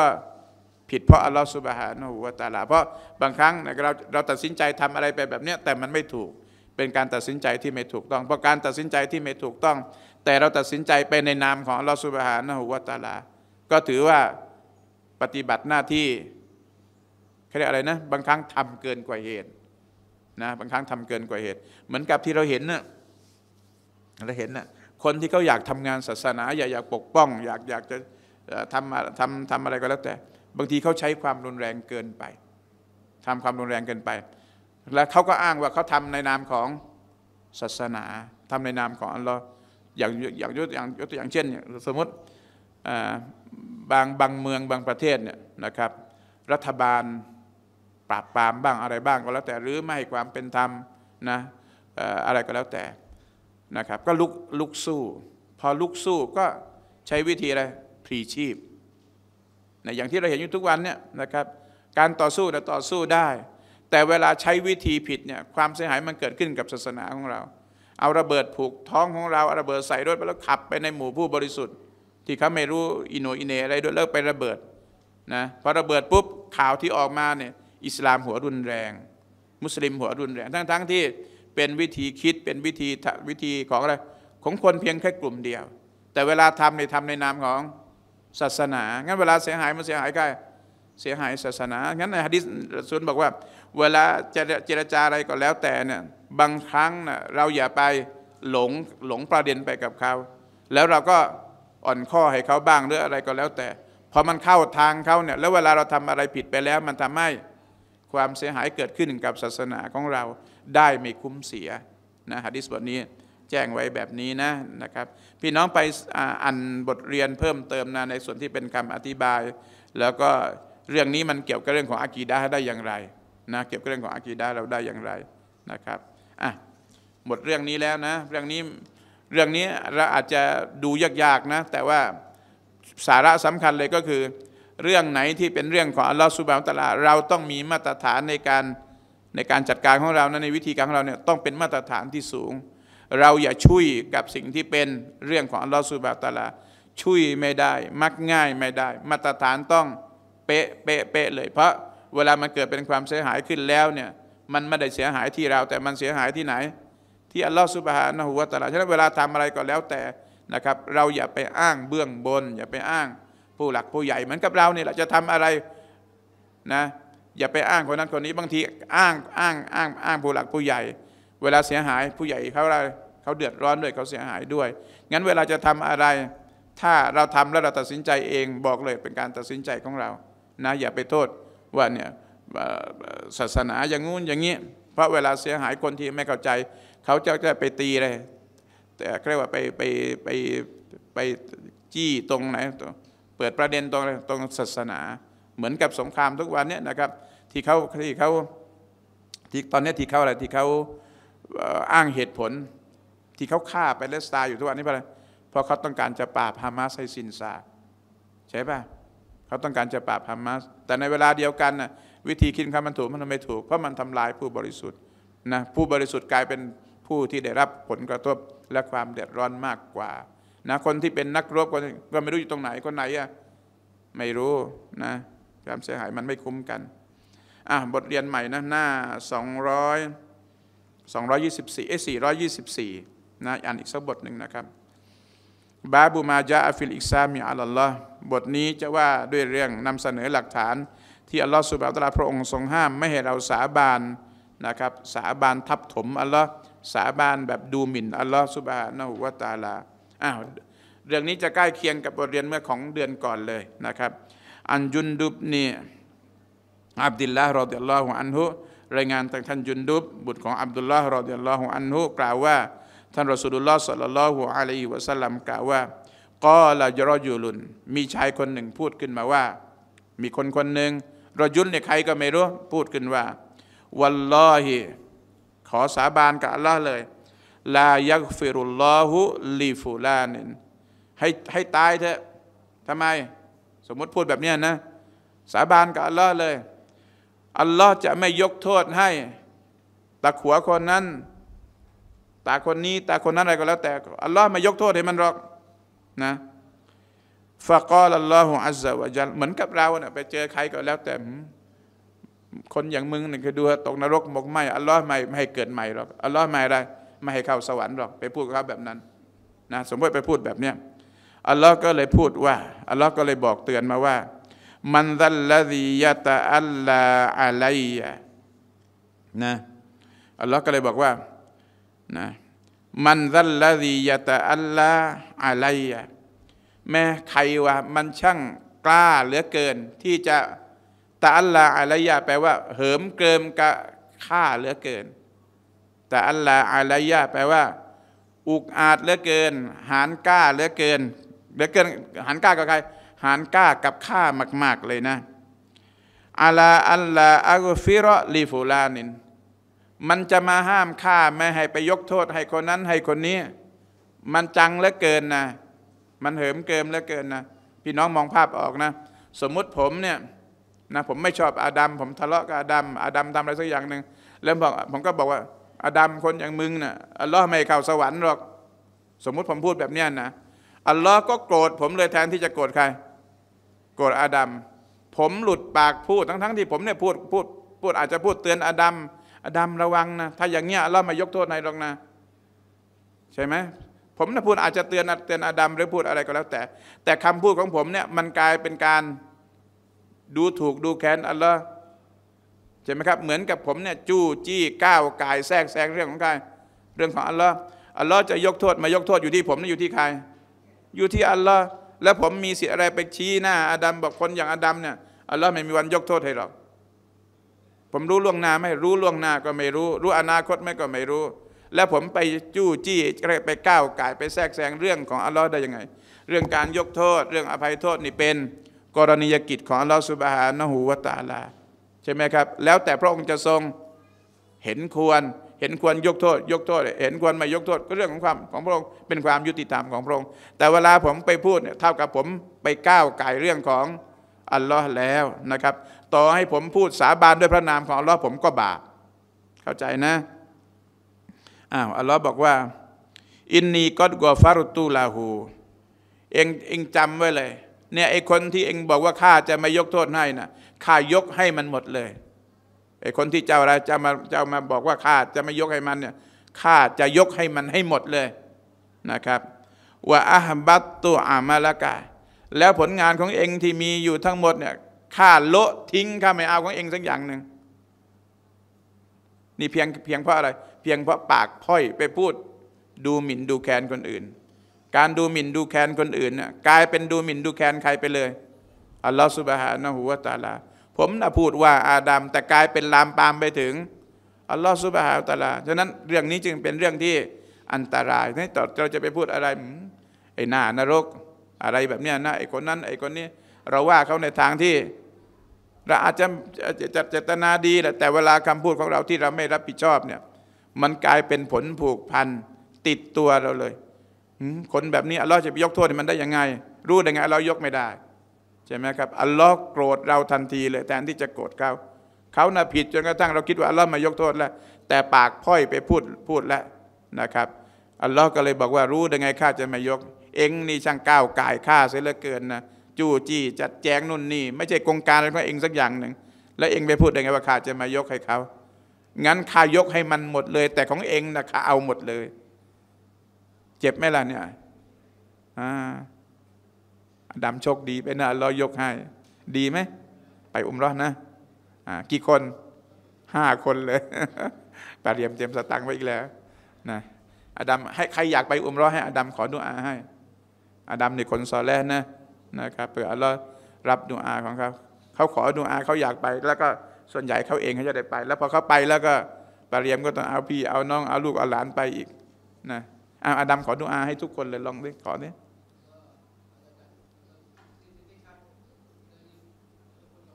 อามีนอ่าอ่าให้มีริสกี ให้มีสุขภาพร่างกายที่แข็งแรงอ่าแล้วก็ให้ได้ไปอุมรักกันทุกคนเลยนะอามีนนะใครอยากไปบ้างล่ะอยากไปยกมือเลยนะ อามีน รับดูอาของอาดัมนะอ่าอามีนอ่าต่อ ว่าฟีฮะดีสิอบีฮุรอยรอตรอดิยัลลอฮุอันฮุและในอีกสำนวนรายงานหนึ่งของท่านอบีฮุไรรอรอดิยัลลอฮุอันฮุนะครับฮะดิษบทแรกเป็นของยุนดุบฮะดิษบทที่สองเป็นของอบีฮุไรรอบอกว่าอันนัลกออีละรอจูลุนอาบิดุนคนที่หลุดปากพูดแบบนี้ไปว่าคนอย่างเองนะอัลลอฮ์มายกโทษให้รอก คนที่พื่อนรู้ไหมใครรอยูลุนอาบิดุนเป็นคนผู้ชายคนหนึ่งที่ปฏิบัติธรรมเข่งคัดมาก ๆ เลย หมายถึงคนดีคนซอและละมาสะอาดดีอะไรดีทั้งหมดเลย แต่ไม่ดีตรงไหน ไม่ดีตรงตรงปากอย่างเดียวเอง ไปสบประมาทเขาไปดูหมิ่นดูแคลนเขาเขาอาจจะหวังดีก็ได้ แต่ไม่ระวังปากใช่ปะและการไม่ระวังปากนี่แหละ มันทำให้กลายเป็นคำพูดที่กลับเข้ามาหาทำร้ายตัวเองทั้งหมดเลยนะครับ ไปพูดไปดูดูหมิ่นดูแคลนในลักษณะคนอย่างเองเนี่ยไม่มีวันได้อะไร อะเดี๋ยวออกจากนรกหรอกอัลลอฮ์มายกโทษให้รอก แบบเนี้ยแค่นี้เท่านั้นเองนะครับรอยูลุนอาบินุนเขาเป็นคนที่อามันอิบาดาล้วนๆเลยดีมาตลอดเลยก็ละอบูฮุรอยรอรอดิยัลลอฮุอันฮุอบูฮุรอก็เลยรายงานฮะดิษบทนี้บอกว่านะครับพูดเสริมมาว่านะอธิบายว่าตะกัลละมาบิกลิมาตินเอาบกอดดุนยาหูอาคิรอตาหูน่าสงสารคนคนนี้นะ มีผลงานมาทั้งชีวิตเลย แต่แค่พูดคำเดียว พูดมากี่คำกะลิมาเป็นหนึ่งคำหลุดปากพูดคำชั่วๆออกมาแค่คำเดียวเนี่ยคำนี้มีผลเปลี่ยนชีวิตเขาทั้งชีวิตเลยใช่ไหมครับเอาบกอดดุนยาหัวอาคิรตุคำพูดที่พูดในดุนยาเนี่ยนะครับทำลายผลบุญอาคิรอของเขาไม่เหลือไม่เหลือชิ้นดีเลยนะฉะนั้นใครที่จะพูดอะไรต่อไปนี้นะครับ ระวัง ต้องระวังมาก ๆ เลยคำพูดอะไรก็แล้วแต่ ถ้าพูดไปแล้วกระทบกระเทือนอัลลอฮฺสุบฮานะหัวตลาแม้เราจะพูดถึงคนนี่แหละใช่ไหมครับ ไม่ต้องอะไรมากอย่างที่เรายกตัวอย่างเนี่ยสมมติสมมติปาเรียมทำอาหารมาเลี้ยงวันนี้เนี่ยสมมติว่าที่เลี้ยงเนี่ยวันนี้ของใครของปาเรียมใช่ไหมผมไม่ได้ว่าปาริยมแต่ผมบอกใครทำกับข้าววะกินไม่ได้เลย แดกไม่ได้เลยสมมติอย่างเงี้ย คนคนคนทำมาเขารู้สึกยังไง เสียใจมากใช่ไหมครับเหมือนเหมือนกับดูถูกเขาเขาไม่มีฝีมือเขานู่นเขานี่ มันคิดไปได้ทุกอย่างเลย แล้วเนี่ยเวลาพูดแบบเนี้ยผู้ที่เราพูดถึงนี่ใครอะอัลลอฮ์เราพูดกับเขาอะแหละแต่มันมันหมายถึงอัลลอฮ์คนแบบนี้อัลลอฮ์ให้อัลลอฮ์ให้อัลลอฮ์ไม่ให้มึงหรอกอัลลอฮ์ทำไม่ได้เรากับมึงอะไรเงี้ยใช่ไหม ร้ายแรงมากฉะนั้นอบูยรอบอกว่าเนี่ยตะขัวเนี่ยพูดคำพูดคำเดียวคำพูดนี้เป็นคำพูดทำลายเขาตั้งแต่ดุนยาจนกระทั่งถึงอาคิรอเลย เพราะอะไรเพราะอัลลอฮ์บอกแล้วข้ายกให้มันหมดแต่เองนะ่ะข้าเก็บทุกรายละเอียดเลยข้าจะเอาข้าจะเอาเรื่องกับเองแทนไอ้คนนู้นนะข้าไม่เอามาแล้วที่เองบอกว่าข้าข้าข้าอะไรข้าข้ายกโทษให้มันไม่ได้นะข้ายกให้มันหมดเลย แต่ข้าจะเอามามาเอาเรื่องใครใหม่ เอาเรื่องกับเองใหม่นะทีนี้ก็กลายเป็นจำเลยของลอสุบานตลาดไปโดยไม่รู้ตัวนะฮะดิษบทนี้นะครับอยู่ในบันทึกของอิหม่ามมุสลิมฮะดิษซอฮียนะอ้าว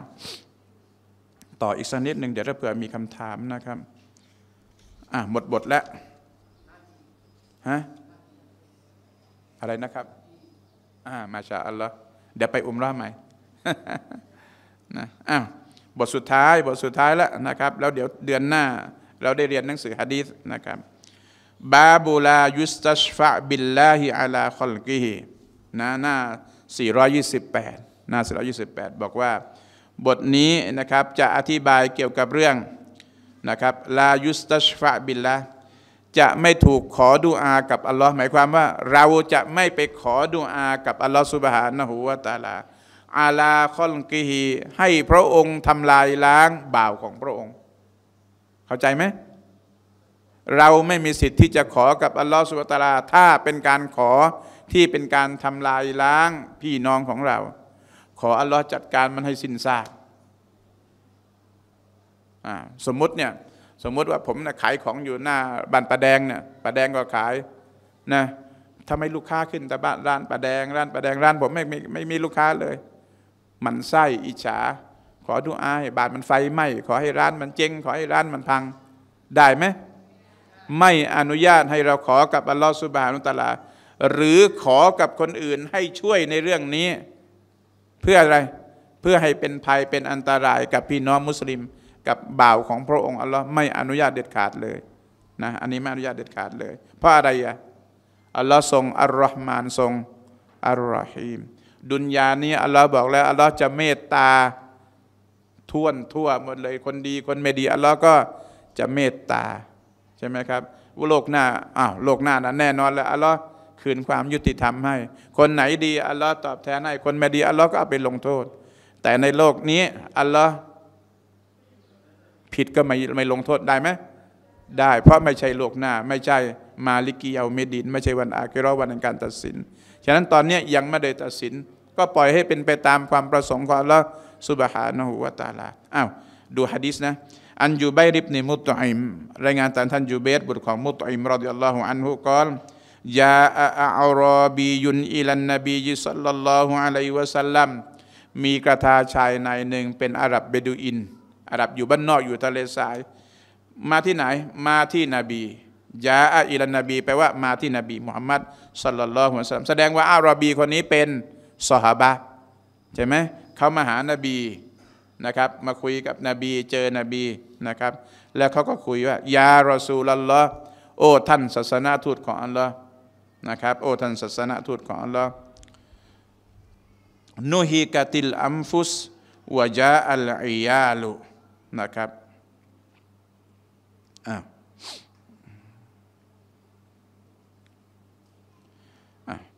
นุฮักนุฮีกาติลอัมฟุสตอนนี้นับสุนอัมฟุสนี่แปลว่าชีวิต ตอนนี้ชีวิตเนี่ยเริ่มล้มหายตายจากกันแล้ว หมายความว่าอาจจะเป็นช่วงข่าวยากหมากแพงนะกันดานหรือเดือดร้อนเป็นอะไรแบบนี้นะ ก็เกิดเป็นความเสียหายรอซุนครับ ตอนนี้มีชีวิตเริ่มตายเริ่มเริ่มเริ่มอะไรล้มล้มหายตายจากกันไปบ้างแล้ว วะจาอัลอียาลุนะครับ แล้วก็ลูกเล็กเด็กแดงก็อายะนี่แปลว่าลูกลูกลูกลูกลูกลูกเต่าๆของเรานะยะแปลว่าหิว ตอนแล้วตอนเนี้ยลูกเล็กเด็กแดงเนี่ยอดตายกันไปหมดแล้วหิว หิวนะหิวตายอดตายกันแล้ววะฮาลากาติลอัมวาลแล้วตอนนี้ทรัพย์สินเรียกสวนไรมาต้นมากรากไม้สิงสาราสัตว์ก็เขาเรียกอะไรล่ะเสียหายหมดแล้ว นะถ้าเป็นแบบคนโมโหโมโหก็ชิบหายหมดแล้วไม่เหลืออะไรแล้วนะมาระบายกับท่านรอสุลลอฮ์สัลลัลลอฮุอะลัยฮิวะสัลลัมนะครับفاس فاس فاستسق لنا ربكรอซูล ช่วยขอดุอาจากอัลลอฮ์ให้พระองค์ทรงประทาน น้ำฝนให้เราหน่อยเถิดนะครับโอ้อัลลอฮ์ขอพระองค์ให้อะไรให้ท่านเนี่ยนะครับ ประทานน้ำฝน ให้ท่านขอให้อัลลอฮ์سبحانه وتعالىพระองค์ทรงอะไรประทานน้ำฝน استسقىแปลว่าขอฝนفاستسق لنا ربكท่านโปรดช่วยขอกับพระเจ้าของท่านก็คืออัลลอฮ์สุบฮานตะลา ให้ประทานน้ำฝนลานาลงมาให้พวกเราด้วยฟาอินนานาฟาอินนานัสตัชฟิอุบิลลาฮิอะลัยกะวะบิกะอัลลอฮ์นะครับ แท้จริงเราขอดูอากับอัลลอฮ์สุบะตาลากับท่าน หมายถึงหมายความว่าถ้าเราเราขอเนี่ยนะขอความร่วมมือกับท่าน ให้ท่านขอ ถ้าท่านไม่ขอท่านเจอดีแน่นะและเช่นเดียวกันวาบิกาและเราก็ขอกับท่าน ให้ขออัลลอฮ์ถ้าอัลลอฮ์ไม่ให้อัลลอฮ์ก็โดนด้วย เข้าใจไหมเนี่ยเข้าใจปะที่เขาพูดเนี่ยขอกับอัลลอฮ์ขอกับท่านเนี่ยนัสตัชฟิอูบิกาขอกับอัลลอฮ์แต่ขอด้วยอะไร อ้างท่าน ถ้าท่านไม่ขอให้เราไม่ช่วยเราขอนะ ไม่ช่วยขอให้เรา ท่านเจอดีแน่ตกลงขอกับใครเขาก็อยากจะขอกับอัลลอฮ์แหละแต่มากดดันนบีท่านนบีไม่ร่วมมือกับเรา ไม่ขอให้เรานบีโดนแน่ ใช่ไหมแล้วเวลานาบีขอไปแล้ว แล้วถ้าอัลลอฮ์ไม่ให้ตามที่นบีขออัลลอฮ์เจอแน่ฮะก็คนกำลังกำลังกำลังเดือดร้อนนะนะครับกำลังเดือดร้อนนะ นบีพอนบีดีนบีบอกสุบฮานัลลอฮ์อุทานเลยสุบฮานัลลอฮ์ละอิลัยลอนมันช่างกล้าพูดเหมือนกับที่ปริยมานะ ใหญ่โตเหลือเกินแหละนะมากดดันนบีใช่ไหมครับ อ้างนบีนบีนี่อุตส่าห์มาขอแรงให้ขอแล้วนะ ให้ขอกับใครให้ขอกันเหรอแล้วถ้าเราเราอุตส่าห์มาขอแรงท่านแบบนี้แล้วถ้าท่านไม่ขอให้เราท่านท่านโดนดีแน่อ่า แล้วแล้วก็ขู่ไปถึงใครด้วยฝากไปถึงอัลลอฮ์ด้วย แล้วอัลลอฮ์กับมันกัน อุตส่าห์ให้นบีขอแล้วแล้วถ้าอัลลอฮ์ไม่ให้อีกนะอัลลอฮ์ก็โดนดีเช่นเดียวกัน ตกลงแล้ว ทั้งนบีทั้งอัลลอฮ์โดนหมดเลยนะโดนหมดเลย นบีก็อุทานเลยสุบฮานัลลอฮ์สุบฮานัลลอฮ์อะไรกันเนี่ยฟามาซาลายุซับบิฮุฮัตตาอุริฟะดาลิกฟีวูจูฮิอัสฮาบิฮิ นบีนั่งอุทานแบบนั้นแล้วพูดอะไรไม่ออกเลยนะครับพูดอะไรไม่ออกเลยจนกระทั่งเรื่องนี้เริ่มเริ่มเริ่มอะไรซอฮาบะเริ่มรู้อาการของนบีจากสีหน้าของนบีแล้วว่านบีเนี่ยอึดอัดแล้ว นบีนี่ใบสบายใจแล้วแม่มันมีคนถึงขนาดนี้นะมามาขู่นบี นบีต้องขอนะ เราอุตส่าห์มาขอแรงให้ขอถ้าท่านไม่ขอท่านเจอดีแน่แล้วอัลลอฮ์กับมันกันเวลานบีขอแล้วถ้าอัลลอฮ์ยังไม่ให้อีกอัลลอฮ์ก็เจอดีเหมือนกันนะ นบีแสดงสีหน้าไม่ดีอึดอัดมากเลยซอฮาบารู้ซุมมะกอลันนบียุ นบีก็พอนบีตั้งสติได้นะร่มเขาเรียกว่า อารมณ์ดีขึ้นมาหน่อย นบีก็หันไปดุเลยไวฮักไวฮักแปลว่าไวรัก แปลว่า ไอเวนนะไวฮักนี่แปลว่า ไอเวนไอไอเบือกอะไรก็แล้วแต่นะ เพราะไม่มีไม่มีมารยาทกับนบี ไม่มีมารยาทกับอัลลอฮฺสุบตลาก่อนนบีก็เลยตวาดไปเลย ดุไปเลยนะครับไวฮักไวฮักในนี้ก็แปลว่าอะไรนะ ก็บอกว่าเป็นการกล่าวอุทาน แสดงถึงความไม่พอใจนะตวาดไปเลยนะครับไวฮัก ยังไงเอ่ยأتدري ما الله أتدري ما اللهแกมาพูดกับข้าแบบนี้แกรู้ไหมอัลลอฮ์น่ะเป็นใครฮะแกมาใหญ่โตอะไรขนาดไหนเชียวมาสั่งข้าต้องอย่างนั้นอย่างนี้ มาสั่งอัลลอฮ์ต้องอย่างนั้นอย่างนี้ สั่งได้ไหมสั่งไม่ได้ أتدري ما اللهจะรู้ไหมอัลลอฮ์น่ะเป็นใคร إن شأن اللهอินชาอัลอินนชะนัลลอฮิอาอัลลอฮ์มุมินซาลีกานะครับ แปลว่านะอินนชะนั่นละแท้จริงเรื่องของอัลลอฮ์สุบฮานุตะลา ใหญ่กว่าสำคัญกว่ากว่าอะไรกว่าที่จะมาพูดเล่นแบบนี้ มาพูดด้อยค่าแบบนี้ ต่อให้เองอ้างอัลลอฮ์เองสาบานกับอัลลอฮ์แต่เวลาเองพูดแบบเนี้ยเท่ากับเองเขาเรียกอะไรนะ ดึงฟ้าลงมาลงมาต่ำใช่เปล่าดึงฟ้าลงมาต่ำเองพูดเหมือนกับอัลลอฮ์เนี่ยเป็นเพื่อนเองเป็นลูกน้องเองเป็นเป็นผู้ที่ต้องฟังเองอย่างเดียวแหละ ใช่ไหมเหมือนกับขู่อัลลอฮ์นี่ถ้าอัลลอฮ์ไม่ไม่ไม่ไม่รับตอบรับแทนที่นบีขอเนี่ยอัลลอฮ์เจอดีแน่ จะสไตล์อัลลอฮ์งั้นหรอประท้วงอัลลอฮ์งั้นหรอทำได้ไหมไม่ได้ระคายเคืองอัลลอฮ์หรอกให้เจ้าทำแค่ไหนก็แล้วแต่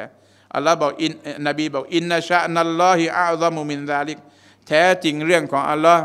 มันยิ่งใหญ่กว่าที่จะมาทำแบบนี้ อย่าเอาฟ้าลงมาต่ำนะ อย่าเอาฟ้าลงมาต่ำอินนาหูลายุสตัชฟะอุบิฮิอาลาอะฮัดินมินคอนกีแท้จริงแล้วสำหรับอัลลอฮ์เนี่ยนะ อย่าได้มีเป็นอันขาดเลย ไปขอให้พระองค์จัดการกับคนนั้นจัดการลงโทษกับคนนี้ที่เป็นบ่าวของพระองค์ นี่เจ้าจะมาขอให้อัลลอฮ์เมตตานั่นแหละจะขออะไรขอให้อัลลอฮ์ประทานน้ำฝน แต่กับใจดำเจ้าเองกับเป็นคนใจดำมาขอให้อะไรท่านนบีไม่ร่วมมือขอให้อัลลอฮ์จัดการนบีเลยอ้าวมาขอให้เราขอดูอาให้นั่นแหละแต่พอบอกถ้าอัลลอฮ์ไม่รับดูอา หรือว่าเราไม่ขอให้ จะให้อัลลอฮ์เล่นงานเรางั้นน่ะหรอ เหมาะสมไหมฮะปริยมขอแรงขอแรงไอ้นี่อย่างหนึ่งสิเนี่ยปริยมผมจะทำบุญขอแรงขอแรงปริยมทำกับข้าวให้ผมหน่อยทำขนมให้ผมหน่อยปริยมบอกไม่รู้ปริยมจะมีเวลาเปล่าปริยมไปคิดให้ดีนะ จะทำหรือไม่ทำถ้าไม่ทำปริยมระวังให้ระวังตัวให้ดี ตกลงขอจะขอขอแรง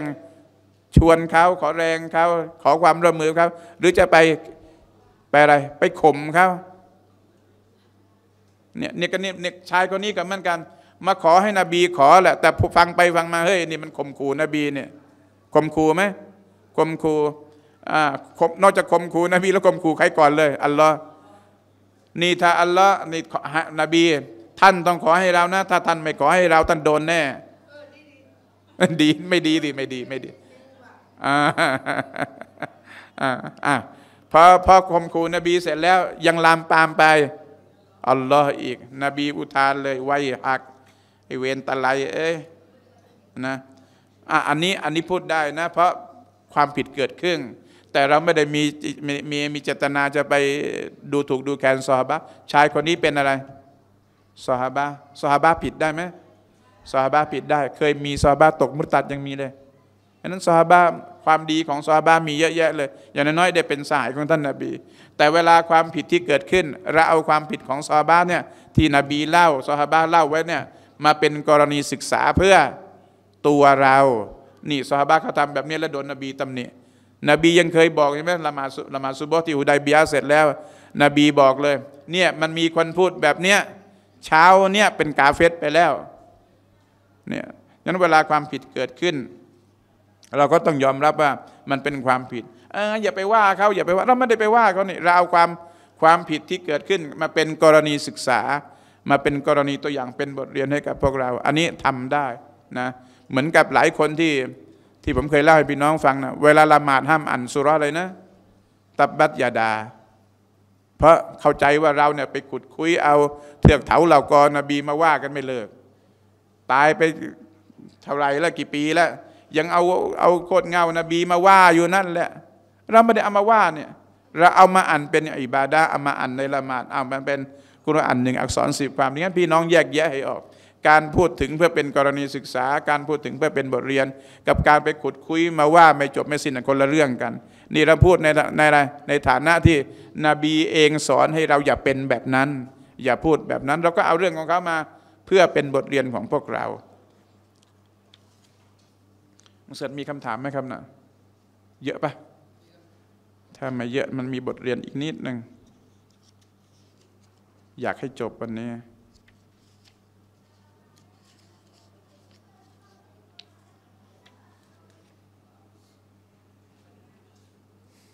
เอาอีกนิดหนึ่งเดี๋ยวเดี๋ยวเดี๋ยวที่เหลือเป็นคำถาม ตั้งครึ่งชั่วโมง เปิดหน้า 434 นะ อ่านะครับ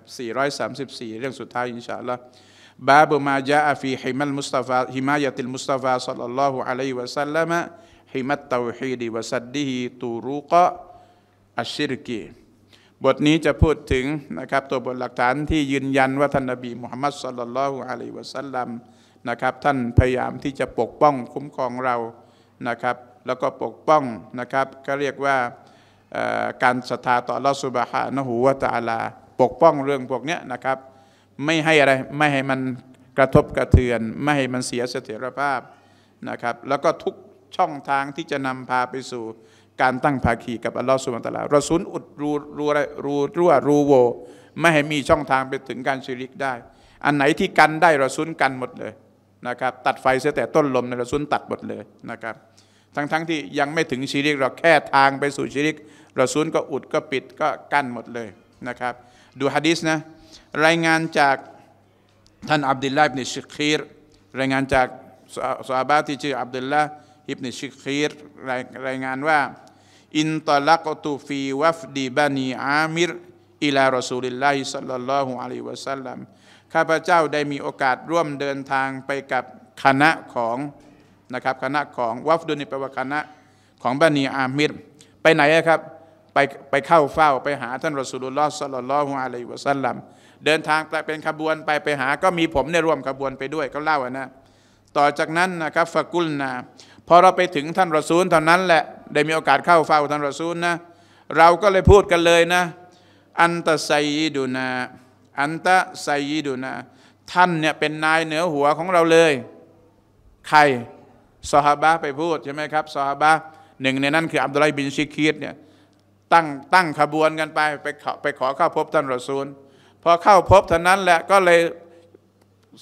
สรรเสริญต่อท่านรอซูลนะนะชื่นชมท่านรอซูล อันตะไซยีดูนา ท่านเป็นนายเนื้อหัวของเรานะครับฟะกอลรอซูลุลลอฮ์สัลลัลลอฮุสลัมก็เลยตอบว่า ไม่ได้นะอย่าพูดนะ ห้ามพูด อัสไซยิดูอัลลอฮฺตาบารอกวะตาอาลา เพราะผู้ที่จะเป็นนายที่จะพูดได้แบบเนี้ยนายเหนือหัวแบบเนี้ยมีใครอัลลอฮ์องเดียวเท่านั้นที่จะเป็นนายเหนือหัว แต่ถ้าเป็นเจ้านายนี่เป็นได้ไหมเจ้านายกับลูกจ้างเป็นได้ แต่ท่านจะมาเป็นนายสูงสุดเนี่ยต้องให้ใคร ยกให้อัลลอฮ์เท่านั้น ต่อไปนี้อย่าไปพูดชุยๆแบบนี้เป็นอันขาดเลยนะครับفقلناบรรดาซอฮาบะที่ไปเข้าเฝ้าก็บอกง่างั้นพูดใหม่ก็ได้ ไม่พูดسيدก็ได้ أنت أفضلنا فضلا وأعظمنا طولاท่านคือผู้ที่ประเสริฐที่สุดเหนือกว่าพวกเรา และท่านคือผู้ที่ยิ่งใหญ่ที่สุดในเรื่องของความมีน้ำใจ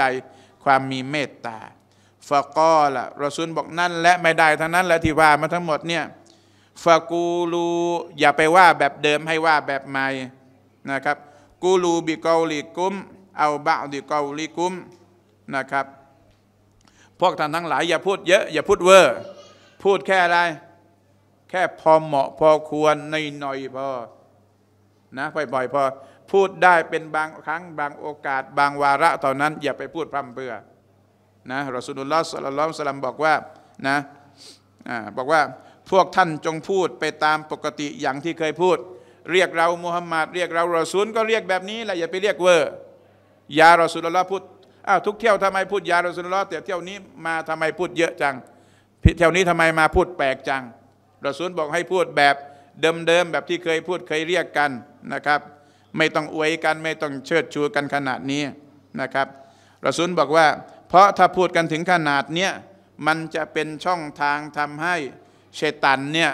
มันลากจูงพวกท่านทั้งหลาย เลยเถิดไปมากกว่านี้ได้ วันนี้เป็นแบบนี้เดี๋ยววันข้างหน้าก็พัฒนาไปใหม่ วันต่อไปก็พัฒนาไปใหม่นะครับเพราะมันไม่จบไม่สิน้นเชตอนมันก็ยุให้ทำเหมือนกับ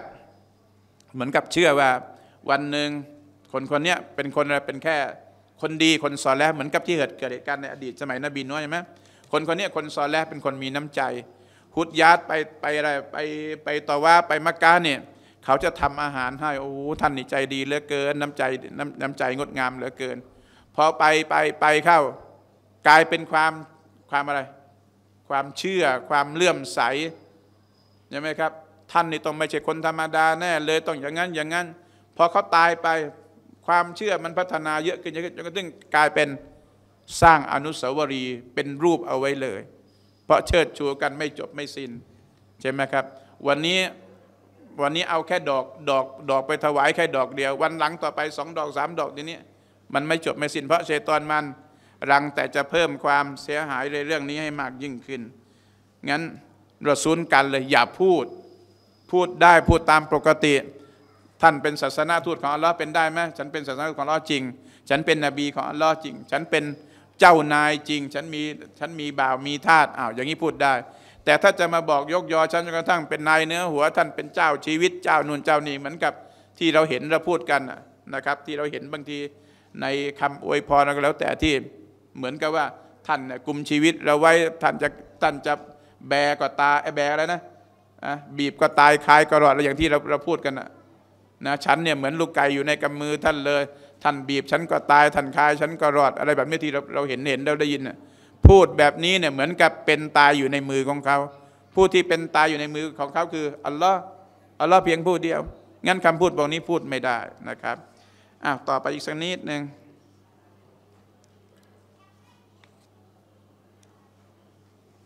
อะนะครับหน้า 438ว่าอันอานัสิบนีมาลิกิน รายงานจากท่านอานัสบุตรของมาลิกรดิยัลลอฮุอันฮุอันนานาสันกอลูนัสแปลนัสช่องอันนัสช่องอันนัสนัสแปลว่าประชาชนนะครับมีผู้คนประชาชนจำนวนหนึ่งพูดกันว่า ลือกันว่ายารอซูลลอฮ์โอ้ท่านศาสนาทูตของอัลลอฮ์เขาไปเจอรอซูลเขาเรียกรอซูลแบบนี้เลยยาคอยรอนาวับนาคอยรินา โอ้ท่านผู้ประเสริฐของเราคอยดุลไปว่าดี โอ้ท่านผู้เป็นผู้ประเสริฐสุดของพวกเรา และเป็นลูกผู้ประเสริฐสุดของเราใช่ไหมตัวท่านก็ประเสริฐสุด พ่อแม่ของท่านก็ประเสริฐสุดวาไซยิดานาวับนาไซยิดีนาโอ้ท่านผู้เป็นนายสูงสุดของเรา นายเนื้อหัวของเรา และเป็นบุตรของนายนายนายเนื้อหัวของเราฟะกอละรอสุลลอฮ์สัลลัลลอฮุอะลัยฮิสลัมก็บอกว่า ยาอิวันนัสโอ้ผู้คนประชาชนอ่าสับอะไรนะอุมาของฉันเอ๋ยคือรอซูลได้ยินเขาเรียกอะไรเรียกรอซูลนะนะว่าท่านเป็นخيرناผู้ที่ประเสริฐที่สุดของเรา وابن خيرنا แล้วท่านก็เป็นบุตรของคนที่ประเสริฐที่สุดของพวกเรานะนบีประเสริฐที่สุดใช่ใช่ไหมครับตระกูลกูเรสเนี่ยเป็นตระกูลที่ประเสริฐที่สุดใช่ แต่เวลาพูดไปแล้วนะฟังแล้วมันดูเยอะไป เข้าใจเยอะนะคำว่าเยอะนะเยอะไปเวอร์ไปนะครับรอซุลก็เลยบอกว่าเอาอย่างนี้ดีกว่ามวลหมู่พี่น้องประชาชน กูรูบีเกาลีกุมพวกหลายพูดตามปกตินี่แหละเรียกฉันมุฮัมหมัดก็มุฮัมหมัดเรียกฉันรอซุลก็รอซุลนะแบบนี้ดีกว่านะวลายัสตาวิยันนักุมุชัยตอน พวกทั้งหลายอย่าปล่อยให้ชัยตอนมาครอบงำอารมณ์ความรู้สึกของพวกท่านทั้งหลายได้ เดี๋ยวชัยตอนมันก็ยุแหละเฮ้ยเรียกแบบนี้ละดีแล้ว นี่แหละเอาไปอ่านในละหมาดเลย ไปใส่ในละหมาดเลยได้ไหมอ้าวนายไม่ดีเหรอนบีนบีใช่นายหรือไหมใช่ แต่นบีบอกผู้ที่สมควรจะเรียกว่าเป็นนายเหนือหัวคือใครอัลลอฮฺสุบฮานะหัวตะละเนี่ยพอชัยตันมันเชียเชียไป เราก็เผลอเรียกตามตกลงเหมือนกับเอานาบีมาเป็นไซยิดเหมือนกับใครละโดยที่เราไม่รู้แล้วก็นึกอ้าวนบีก็เป็นนายของเราแล้วเรียกนบีเป็นนายได้ไหมน่าจะเรียกได้อ้าวเรียกได้งั้นไปอ่านในละหมาดดีกว่า อัลลอฮฺมะซัลลิอัลาซัยดินามุฮัมมัดวะอัลาลิซัยดินามุฮัมมัดกามาซัลไลตะอัลลาซัยเอาไปใส่ในละหมาดใช่ไหมครับ ทั้งๆทที่เป็นอุตริพอเราพูดไปอธิบายไปนบีห้ามนะนบีห้ามนะนบีให้พูดให้เรียกธรรมดาเท่านั้นแหละก็เขาก็จะปกป้องเลย ปกป้องอะไร ปกป้องเรื่องผิด เสียหายเลยเถิดทีนี้เลยเถิดไปกันใหญ่เลย แทนที่จะเข้าใจว่าผิดก็กลายเป็นเข้าใจว่า ถูกเห็นกงจักเป็นดอกบัวไปเลยตอนนี้นะเมื่อชัยตันมัน เข้านะเข้าทางมันอานามูฮัมมัดุนฉันก็คือนายมูฮัมมัดคนธรรมดานี่แหละ ฉันก็คืออับดุลลอฮ์เป็นบ่าวของลอเหมือนกับพวกท่าน ฉันก็บ่าวพวกท่านก็บ่าวว่ารอซูลูฮูแต่ฉันแตกต่างกันตรงที่ฉันเป็นรอซูลพวกท่าน ไม่ได้เป็นรอซูลก็แค่นี้เอง ฉันเหาะได้ไหมฮะนบีดีกว่าเราตรงไหน ตรงได้เป็นนบี ตรงได้เป็นรอซูล แต่อย่างอื่นเหมือนกับเราหมดเลย กินเหมือนเราอะไรเหมือนเราขับถ่ายเหมือนเราอะไรใช้ชีวิตเหมือนอะไรนบีจึงบอกว่าอานาบัชรุมมิสลุกุม ฉันก็เป็นมนุษย์เหมือนกับพวกหลายแหละบางวันก็จำได้บางวันก็ลืมงั้นนบีจึงต้องมีหลักการศาสนาเคยสอนพวกเราอยู่ตลอดเวลาเลย แต่เวลาเรื่องเนี่ยยกย่องเชิดชูเนี่ยนบีบอกอย่ายกย่องเชิดชูฉันจนเลยเถิดเหมือนกับที่วันหนึ่งพวกบันิอิสราเอลเคยยกย่องเชิดชู ใครเอ่ย ฮะนบีมูซานบีอีสาของเขาเพรานะครับจนกระทั่งกลายเป็นเทพกลายเป็นเจ้า กลายเป็นภาคหนึ่งของอัลลอฮฺสุบฮาตลาไปเลย อย่าทำกับฉันแบบนั้นเป็นอันขาดเลย งั้นเรียกฉันก็เรียกแค่มูฮัมหมัดเรียกฉันเรียกแค่อะไรรอซูลุลลอฮ์เรียกแค่นบีของอัลลอฮ์งั้นนบีสอนอะไรเราดันละเหมาะที่สุดเลย อย่าทำเกินมาตรฐานนะครับอันนามุฮัมมัดฉันเป็นมุฮัมมัดธรรมดาอับดุลลาห์บาปของอัลลอฮ์เหมือนพวกท่านว่ารอซูลูแต่ฉันพิเศษก็คือฉันได้เป็น ศาสนทูตของพระองค์ มาอุฮิบบุอันตรฟาอูนีฟาวกมันซิลาตีอัลลตีอันซาลานียัลลอฮฉันไม่ชอบเลยที่จะให้พวกทั้งหลายตรฟาอูนีแปลว่าสรฟ้าแปลว่ายกหมายถึง เชิดชูฉันยกย่องฉันเทิดทูนฉันเหนือกว่าที่อัลลอฮ์ยกย่องฉันอัลลอฮ์ให้เกียรติฉันเป็นอะไรมุฮัมมัดรอซูลุลลอฮ์ในกุรอานมุฮัมมัดเป็นศาสนาทูตของอัลลอฮ์ งั้นเวลาเราไปเรียกเกินนี่เป็นไงเอ่ยมันก็เกินฐานะที่อัลลอฮ์แต่งตั้งให้นะแล้วเหรนนะครับเป็นแค่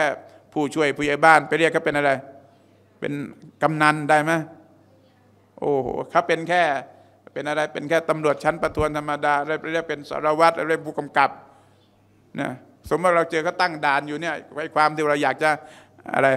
ไม่ให้เขาไม่ให้เขาให้เขาเมตตาเราโอ้ท่านผู้กำกับครับ ผู้กำกับเขาจะมายืนยืนยืนตั้งด่านเองไหมฮะแล้วแค่เราเห็นแค่เราเห็นบางทีบางทีผมว่านะครูข้าราชการครูเขาใส่ใส่ชุดราชการสี สีกากีนะครับ ก็เขาก็เห็นคนช็อตปลาอันนี้ผมเล่าของจริงนะว่ามันมีคนที่เขาลักลอบช็อตช็อตปลา มันตามชายชายถนนนั่นบ่อบ่อชายชายถนน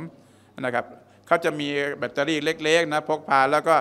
เป็นเป็นขวดลวดไปจิ้มจิ้มจิ้มแบบนี้แล้วก็จับปลา ซึ่งการจับปลาโดยการช็อตไฟฟ้าเนี่ยผิดกฎหมาย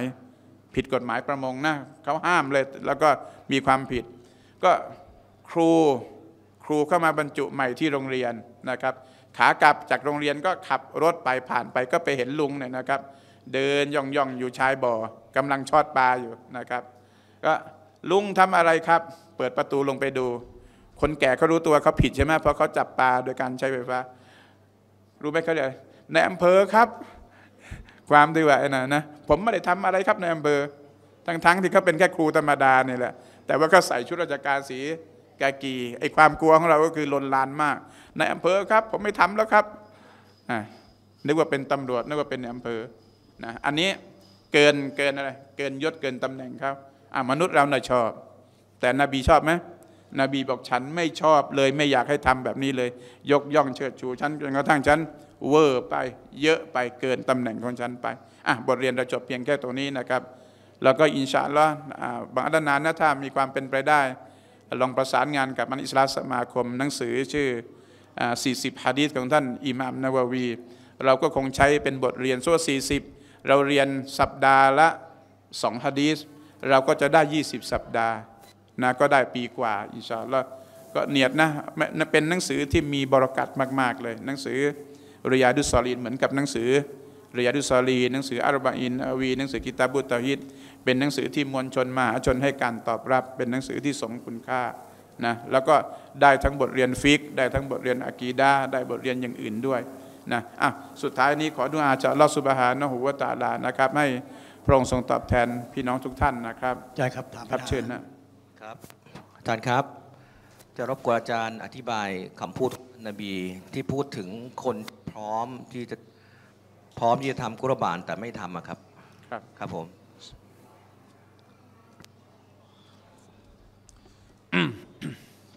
อะบิสมิลลาห์เรามาสัลลัลลอฮุอะลัยฮินบีนะเรามีเวลาไม่เยอะประมาณสักสิบกว่านาทีนะ บางมุฮัมมัดฟาริดบอกว่า ให้เราช่วยทบทวนกันนะฮะดีษของท่านรอซูลบทหนึ่งที่บอกว่า คนที่มีศักยภาพมีฐานะมีความพร้อมที่สามารถจะทำกรูบันได้ แต่เลือกที่จะไม่ทำนะครับคำพูดของนบีที่นบีนบีพูดเอาไว้เนี่ย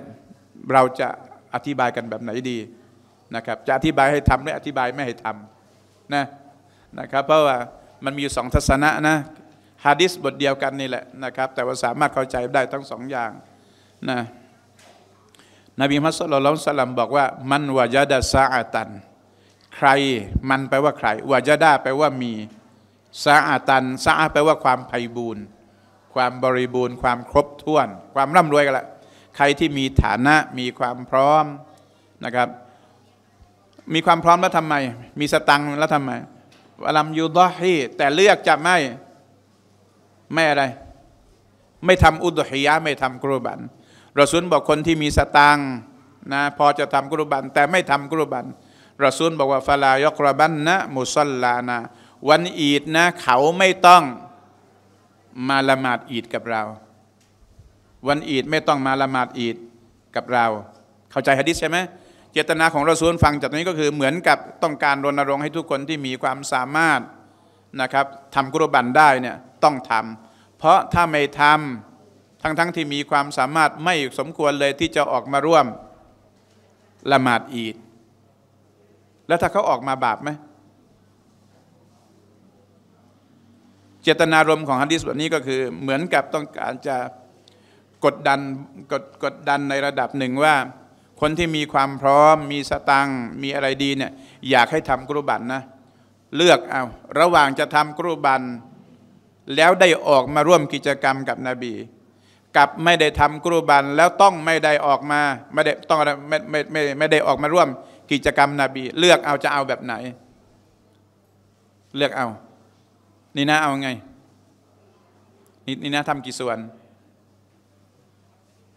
ยังไม่ได้เอาเลยนะ เดี๋ยวเดี๋ยวเดี๋ยวนบีบอกอิหมัมบอก ไม่ต้องมาริยานะ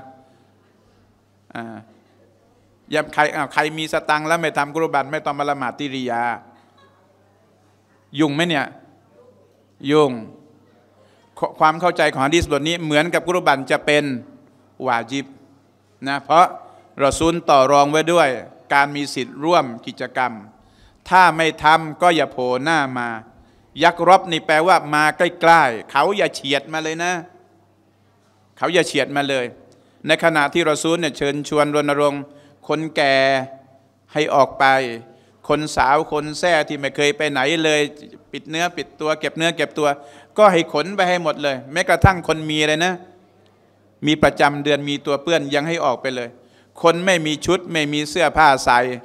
ก็ให้ไปขอยืมพี่ๆน้องๆ มาใส่แล้วก็ออกไปละหมาดอีดให้หมดเลย ไปไปร่วมกันดูอา ไปร่วมกันตักเบีรแต่พอคนมีสตังแต่ไม่ทำกุรบานรอซูลบอกไม่ต้องโผล่มาเลย มันก็ทำให้เข้าใจได้ว่าฮะดิษบทนี้เหมือนกับจะ ตั้งเป็นเงื่อนไขไว้เลยว่าคนที่จะไปละหมาดกับนบีต้องทำกุรบันด้วย ก็เลยเป็นที่มาของทัศนะนักวิชาการจำนวนหนึ่ง บอกว่ากุรบันกลายเป็นเรื่องวาญิบสำหรับคนที่มีมีฐานะ แต่ถ้าคนไม่มีฐานะล่ะ ก็ไม่ต้องทำไม่เป็นไรนะครับ ซึ่งนักวิชาการบอกว่าการที่นบีตั้งเงื่อนไขไว้แบบนี้เหมือนกับจะเป็นแรงจูงใจหรือกดดันให้เขาให้เขาให้เขาตัดสินใจเลือกที่จะทำแต่ว่าไม่ใช่วาจิบ พราะนบีมุสลิมละฮ์อะลัยฮิวะสัลลัมบอกนะครับว่าสามประการที่เป็นฟัรดูของฉัน แต่สำหรับพวกท่านเป็นเพียงแค่สุนัตมีอยู่สามประการนะสำหรับนบีเป็นวาจิบต้องทำทิ้งไม่ได้เลยซาลาซุนอะลัยฮัตมุนสามประการต่อไปนี้สำหรับฉันเป็นวาจิบเด็ดขาดเลย แต่สำหรับพวกถ่ายวะหุนนั่นละกุ้มตอตอวอนแต่สำหรับพวกท่านทั้งหลาย คนอื่นๆ เป็นแค่ตอตอวะก็คือสุนัตเท่านั้น ละหมาดวิเตสละหมาดสุนนะดูฮาแล้วก็เชือดกรุบันละหมาดสุนนะวิเตสละหมาดสุนนะดูฮาแล้วก็เชือดกรุบันสำหรับนบีนบีไม่ทิ้งวิเตสนบีไม่ทิ้งดูฮานบีไม่ทิ้งการเชือดสัตว์เพราะนบีไม่ทิ้งการเชือดสัตว์ เพราะเป็นมิวาญิบของนบี นบีก็ทำเป็นประจำสหบาที่ไปเห็นว่านบีทำไม่ขาดทำไม่ขาดน่าจะเป็นวาญิบ ก็เลยเข้าใจว่าเป็นวาญิบนะแต่มีฮะดิษบทอื่น แม้กระทั่งฮะดิษบทเมื่อสักครู่เนี่ยเข้าใจได้ทันทีว่านบีบอกคนอื่นเป็นแค่สุนัตแต่สำหรับตัวท่านเป็นวาญิบนะก็แนะนำแบบนี้ก็แล้วกันครึ่งทางนะครับ ใครที่มีความพร้อมมีความสามารถให้ตัดสินใจทำกรุบันไว้นะหรืออย่างน้อยๆเนียดทำกรุบัน ปีนี้ยังไม่สะดวกไม่เป็นไรปีหน้านะปีหน้าปีต่อๆไปนะส่วนใครที่ไม่สะดวกหรือไม่พร้อมหรือเลือกทัศนะว่าเป็นแค่สุนนะนะครับหรือฟหรือเป็นสุนนะ มุอักกะดะห์ยังไม่ทำก็ได้ไม่เป็นไร ก็แล้วแต่ท่านเป็นการตัดสินใจของท่านนะเพราะถ้าบอกว่าทำไม่ทำกุรบันไม่ต้องมาริยาเนี่ยเดี๋ยวก็ไปที่อื่นกันหมดนะใช่คโอรับเคนะใช่ที่นี่ครับที่นี่กี่ตัวครับปีนี้สิบห้ามาชาอัลลอฮ์สิบห้าอ้าวใครที่พอจะทำได้นะ ช่วยกันทำนะใช่ครับครับเชิญนะคนที่ทำกุรบานเนี่ยเป็นสุนนะหรือเปล่าที่ว่าห้าม ห้ามโกนโกนหนวดอะไรเงี้ยครับเป็นสุนนะถ้าถ้าเราจะถ้าเราฝ่าฝืนเนี่ยจะถึงกับขั้นบาปหรือไม่بسم الله اللهم صل على نبينا محمدอ่าปรากฏเป็นสุนนะของท่านรอซูลจริงนะนะครับที่ท่าน رسول الله صلى الله عليه وسلمย้ำกำชับเอาไว้ว่าเมื่อเข้าสิบวันนะนะครับอีดารอไอตุมฮิลาละดิลฮิจญะตีในเมื่อพวกท่านทั้งหลายนะครับหรือคนหนึ่งคนใดนะ เห็นเดือนดิลฮิจญะห์แล้ว หรือในบางรายงานอีดาดะคอละอะลัยกุมอัชรุดิลฮิจญะตีในเมื่อสิบวันแรกของเดือนดุลฮิจญะห์มาถึงเมื่อไหร่ว่าอารอดะอะฮัดุกุมอายุดอฮิยะและมีคนหนึ่งคนใดประสงค์จะทำกุรบันเราซุนบอกเมื่อมีคนประสงค์จะทำกุรบันก็แสดงว่ามีคนที่พร้อมจะทำแล้วก็มีคนที่ไม่ได้จะทำมีทั้งสองอย่างเลย เฉพาะคนที่ทำเราซุนบอกเฉพาะคนที่ทำเนี่ย ฟันยุมซิก อันชาริวันอัซฟาริฮีเขาจงยาตัดเล็บตัดหนวดตัดขนตัดอะไรของเขาหมดเลย ผิวหนังนะมันถลอกถลอกอะไรก็อย่าไปแกะอย่าไปทำอะไรปล่อยให้มันเป็นธรรมชาติของมันไปสักระยะหนึ่ง ในช่วง 10 วันตัวนี้จนกระทั่งเราเชื่อดเชื่ออะไรครับเชื่อดอุดฮิยะเสร็จเรียบร้อยแล้ว ทัศนะของนักวิชาการส่วนใหญ่มองว่าตรงนี้เป็นคำสั่งที่ในเชิงของสุนนะนะครับ สมควรต้องไว้นะครับ สมควรต้องไว้ ก็ ทางที่ดีก็คือไว้ก่อน ไว้อย่างน้อยๆสมมติไว้ได้สิบวัน ไว้ได้เก้าวันก็ยังดี ไว้ได้ห้าวันก็ยังดี อย่างน้อยๆเราได้รักษาสุนนะพอถึงวันที่หกครูบังคับให้ตัดผม ไม่ไม่ไม่ตัดครูตีอย่างนี้ทำไงฮะสมมติบังฟาริดเนี่ยเป็นทหารนะแล้วก็จ่าบอกอ้าวแม่ทำไมตัดผมทรงทหารนะเดี๋ยวจะกระทืบ สมมตินะ เราเราก็ไม่เราก็ศาสนาก็ให้ความคุ้มครองเราใช่ไหมก็อ่าก็ต้องตัดนะตัดแล้วเราก็อิสิกฟาร์กับอัลลอฮฺสุบฮานะฮูวตาลาไป ที่ดีสมควรรักษาเอาไว้นะก่อนก่อนถึงอีดเนี่ยไม่ใช่ก่อนถึงอีกก่อนถึงวันที่เราจะเชือดกุรบัน ตัดเล็บให้สั้นเลย หนวดก็เล็มให้ให้ให้สั้นที่สุดเลย ส่วนมันจะยาวมาอีกนิดหน่อยเลยกำหนดไปบ้างเล็กๆน้อยๆไม่เป็นไร เพราะโดยปกติตามสุนนะของเรอซูลเขาให้ตัดไม่เกินกี่วันนะ 40 วัน นี่เพิ่งนี่ยังยังยังไม่ได้กี่วันเอง เพิ่งจะได้ 10 วัน 25เปอร์เซ็นต์เองนะจาก 40 วันเราก็แค่ 10 วันนะบางคนเอาไว้จนเล็บยาวเลยไม่เห็นเป็นไรเลยนะแต่พอพอจะพอจะโกนเออพอจะโกนกุรบันไม่ใช่พอจะเชือดกุรบันอะไรจะจะเล็มหนวดจะเล็มโน่นเล็มนี่จะซอยผม จะรอวันอีดนั่นแหละนะดูดูแล้วเดี๋ยววันอีดไม่รออะคงไม่มีอะไรแล้วมึงใช่ครับ อีกอีกข้อนะครับอาจารย์ เวลาเวลามีคนกล่าวว่าสัลลัลลอฮุอะลัยฮิวะซัลลัมให้เรากล่าวตามครับท่านี้เราอิรัลลอฮุอันฮุมของของบรรดาซอฮาบะห์เนี่ยถ้ามีคนกล่าวเนี่ยเราต้องกล่าวตามด้วยหรือเปล่า ก็เป็นการสมควรเฉยๆ เป็นสิ่งที่ชอบให้กระทำแต่ไม่ใช่สุนนะนะครับรอซูลไม่เคยบอกนะว่าบอกหลายจงว่ารอดยัลลอฮุอันฮูหรืออะไรแต่เป็นการเอียซานเป็นการปฏิบัติดี ปฏิบัติชอบที่ไม่ผิดหลักการศาสนานะครับรอฮิมาฮุลลอฮ์เนี่ยสมมติเราได้ยินใครสักคนหนึ่งอ่าสมมติ อ่าอาดัมรอฮิมาฮุลลอฮุตาลาได้ปะไม่ได้ยังไม่ตาย รู้เลยนะอ่านะครับเนี่ยพูดได้เป็นการขอดุอาให้กับเขาขอดุอาให้คนตายไปแล้วคนดีคนสอยแล้วสมควรนะนะครับอะอาจารย์ไม่มีครับอะไรละแต่นบีบอกว่า อีมานมี70 70สาขาที่ประเสริฐสุดคือกล่าวลายแล้วเหรอพวกเราจะทำให้การศรัทธาของของพวกเจ้าให้ใหม่อยู่เสมอ มีผู้ถามมีผู้ถามรอสุลลอฮ์ว่าจึงทำอย่างไร ท่านก็กล่าวว่าให้กล่าวลาอิลลอฮ์ให้มาก ๆ นี่แสดงว่า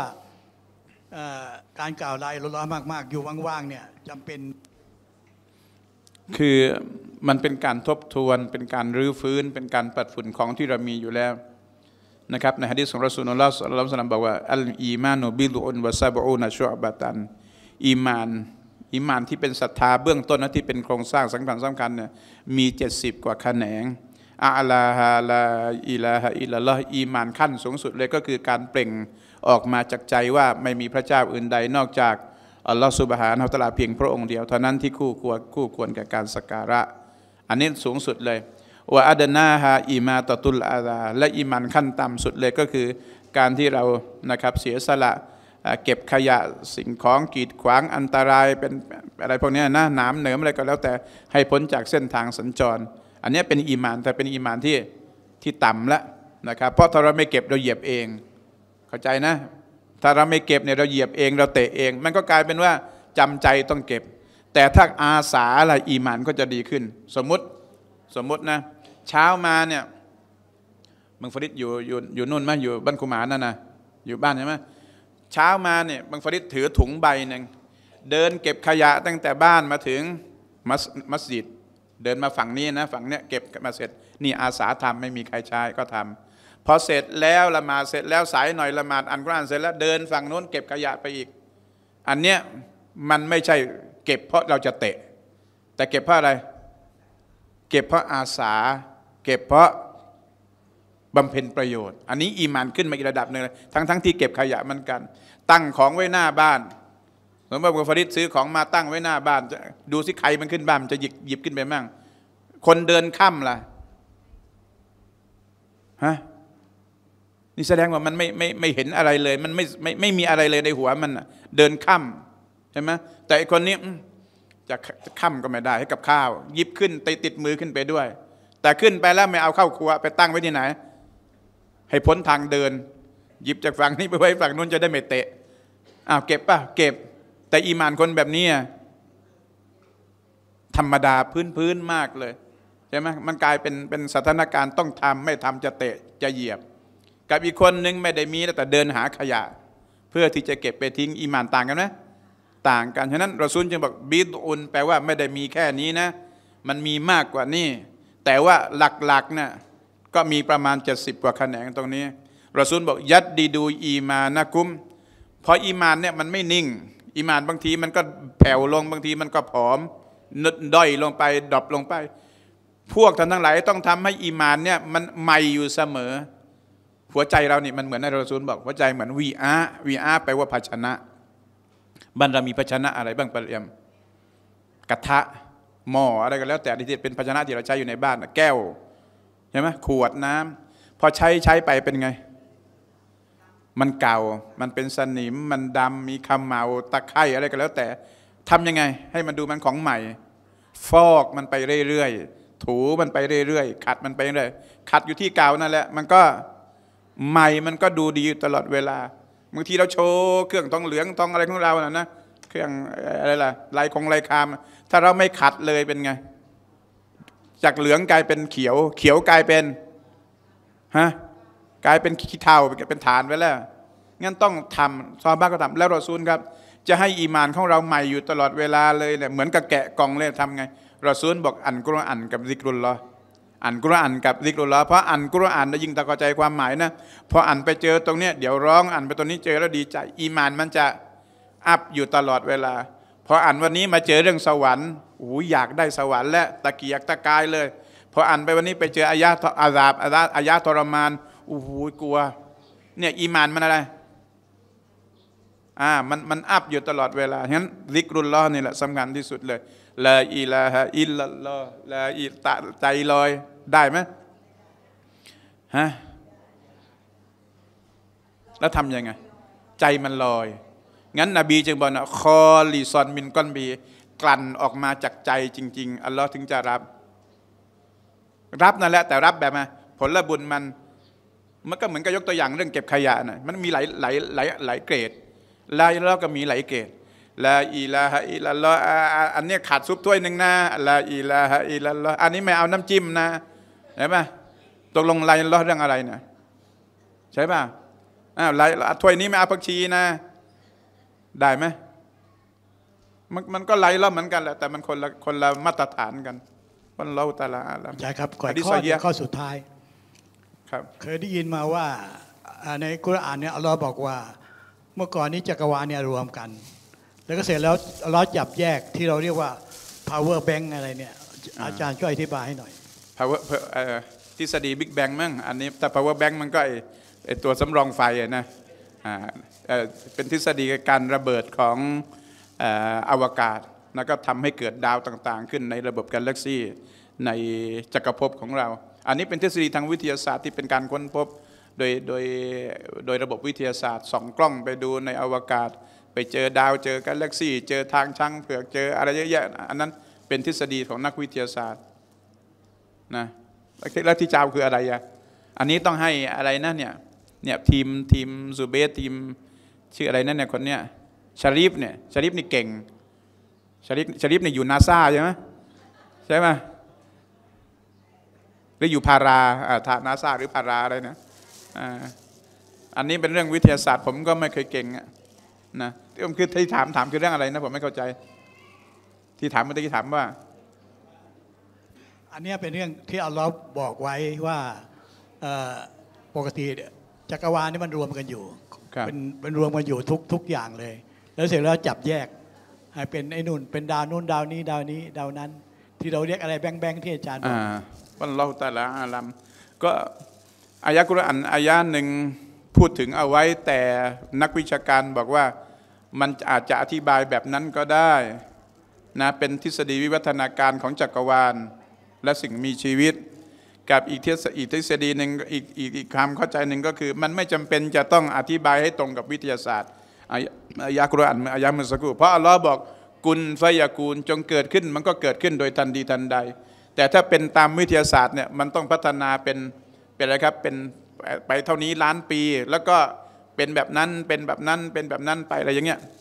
มันบางบางอย่างมันอธิบายไปพร้อม ๆ กัน แล้วก็ดูยังยังจะย้อนแย้งกันอยู่บ้าง แต่ว่านักนักวิชาการโดยเฉพาะบรรดามุฟัสซิรีน นักตัฟซีรสมัยใหม่นะครับเขาก็อธิบายเป็นในทางแบบนี้นะครับ จึงมีบทเรียนหรือคำบรรยายอิสลามกับวิทยาศาสตร์ในเรื่องราวพวกนี้เยอะ แต่พี่น้องไม่จำเป็นจะต้องเชื่อตามวิทยาศาสตร์ทั้งหมดนะอาจจะตรงกันและอาจจะย้อนแย้งกันก็มียาซากุมุลลอฮ์ค่อยรอนนะ ขอดุอาจจะรอให้ทุกท่านมีสุขภาพร่างกายแข็งแรงมีริสกีที่อัลลานที่เพิ่มพูนมีอามัลอิบาดาที่ครบถ้วนสมบูรณ์นะครับอัสสลามุอะลัยกุมวะราะห์มะตุลลอฮ์วะบะเราะกาตุ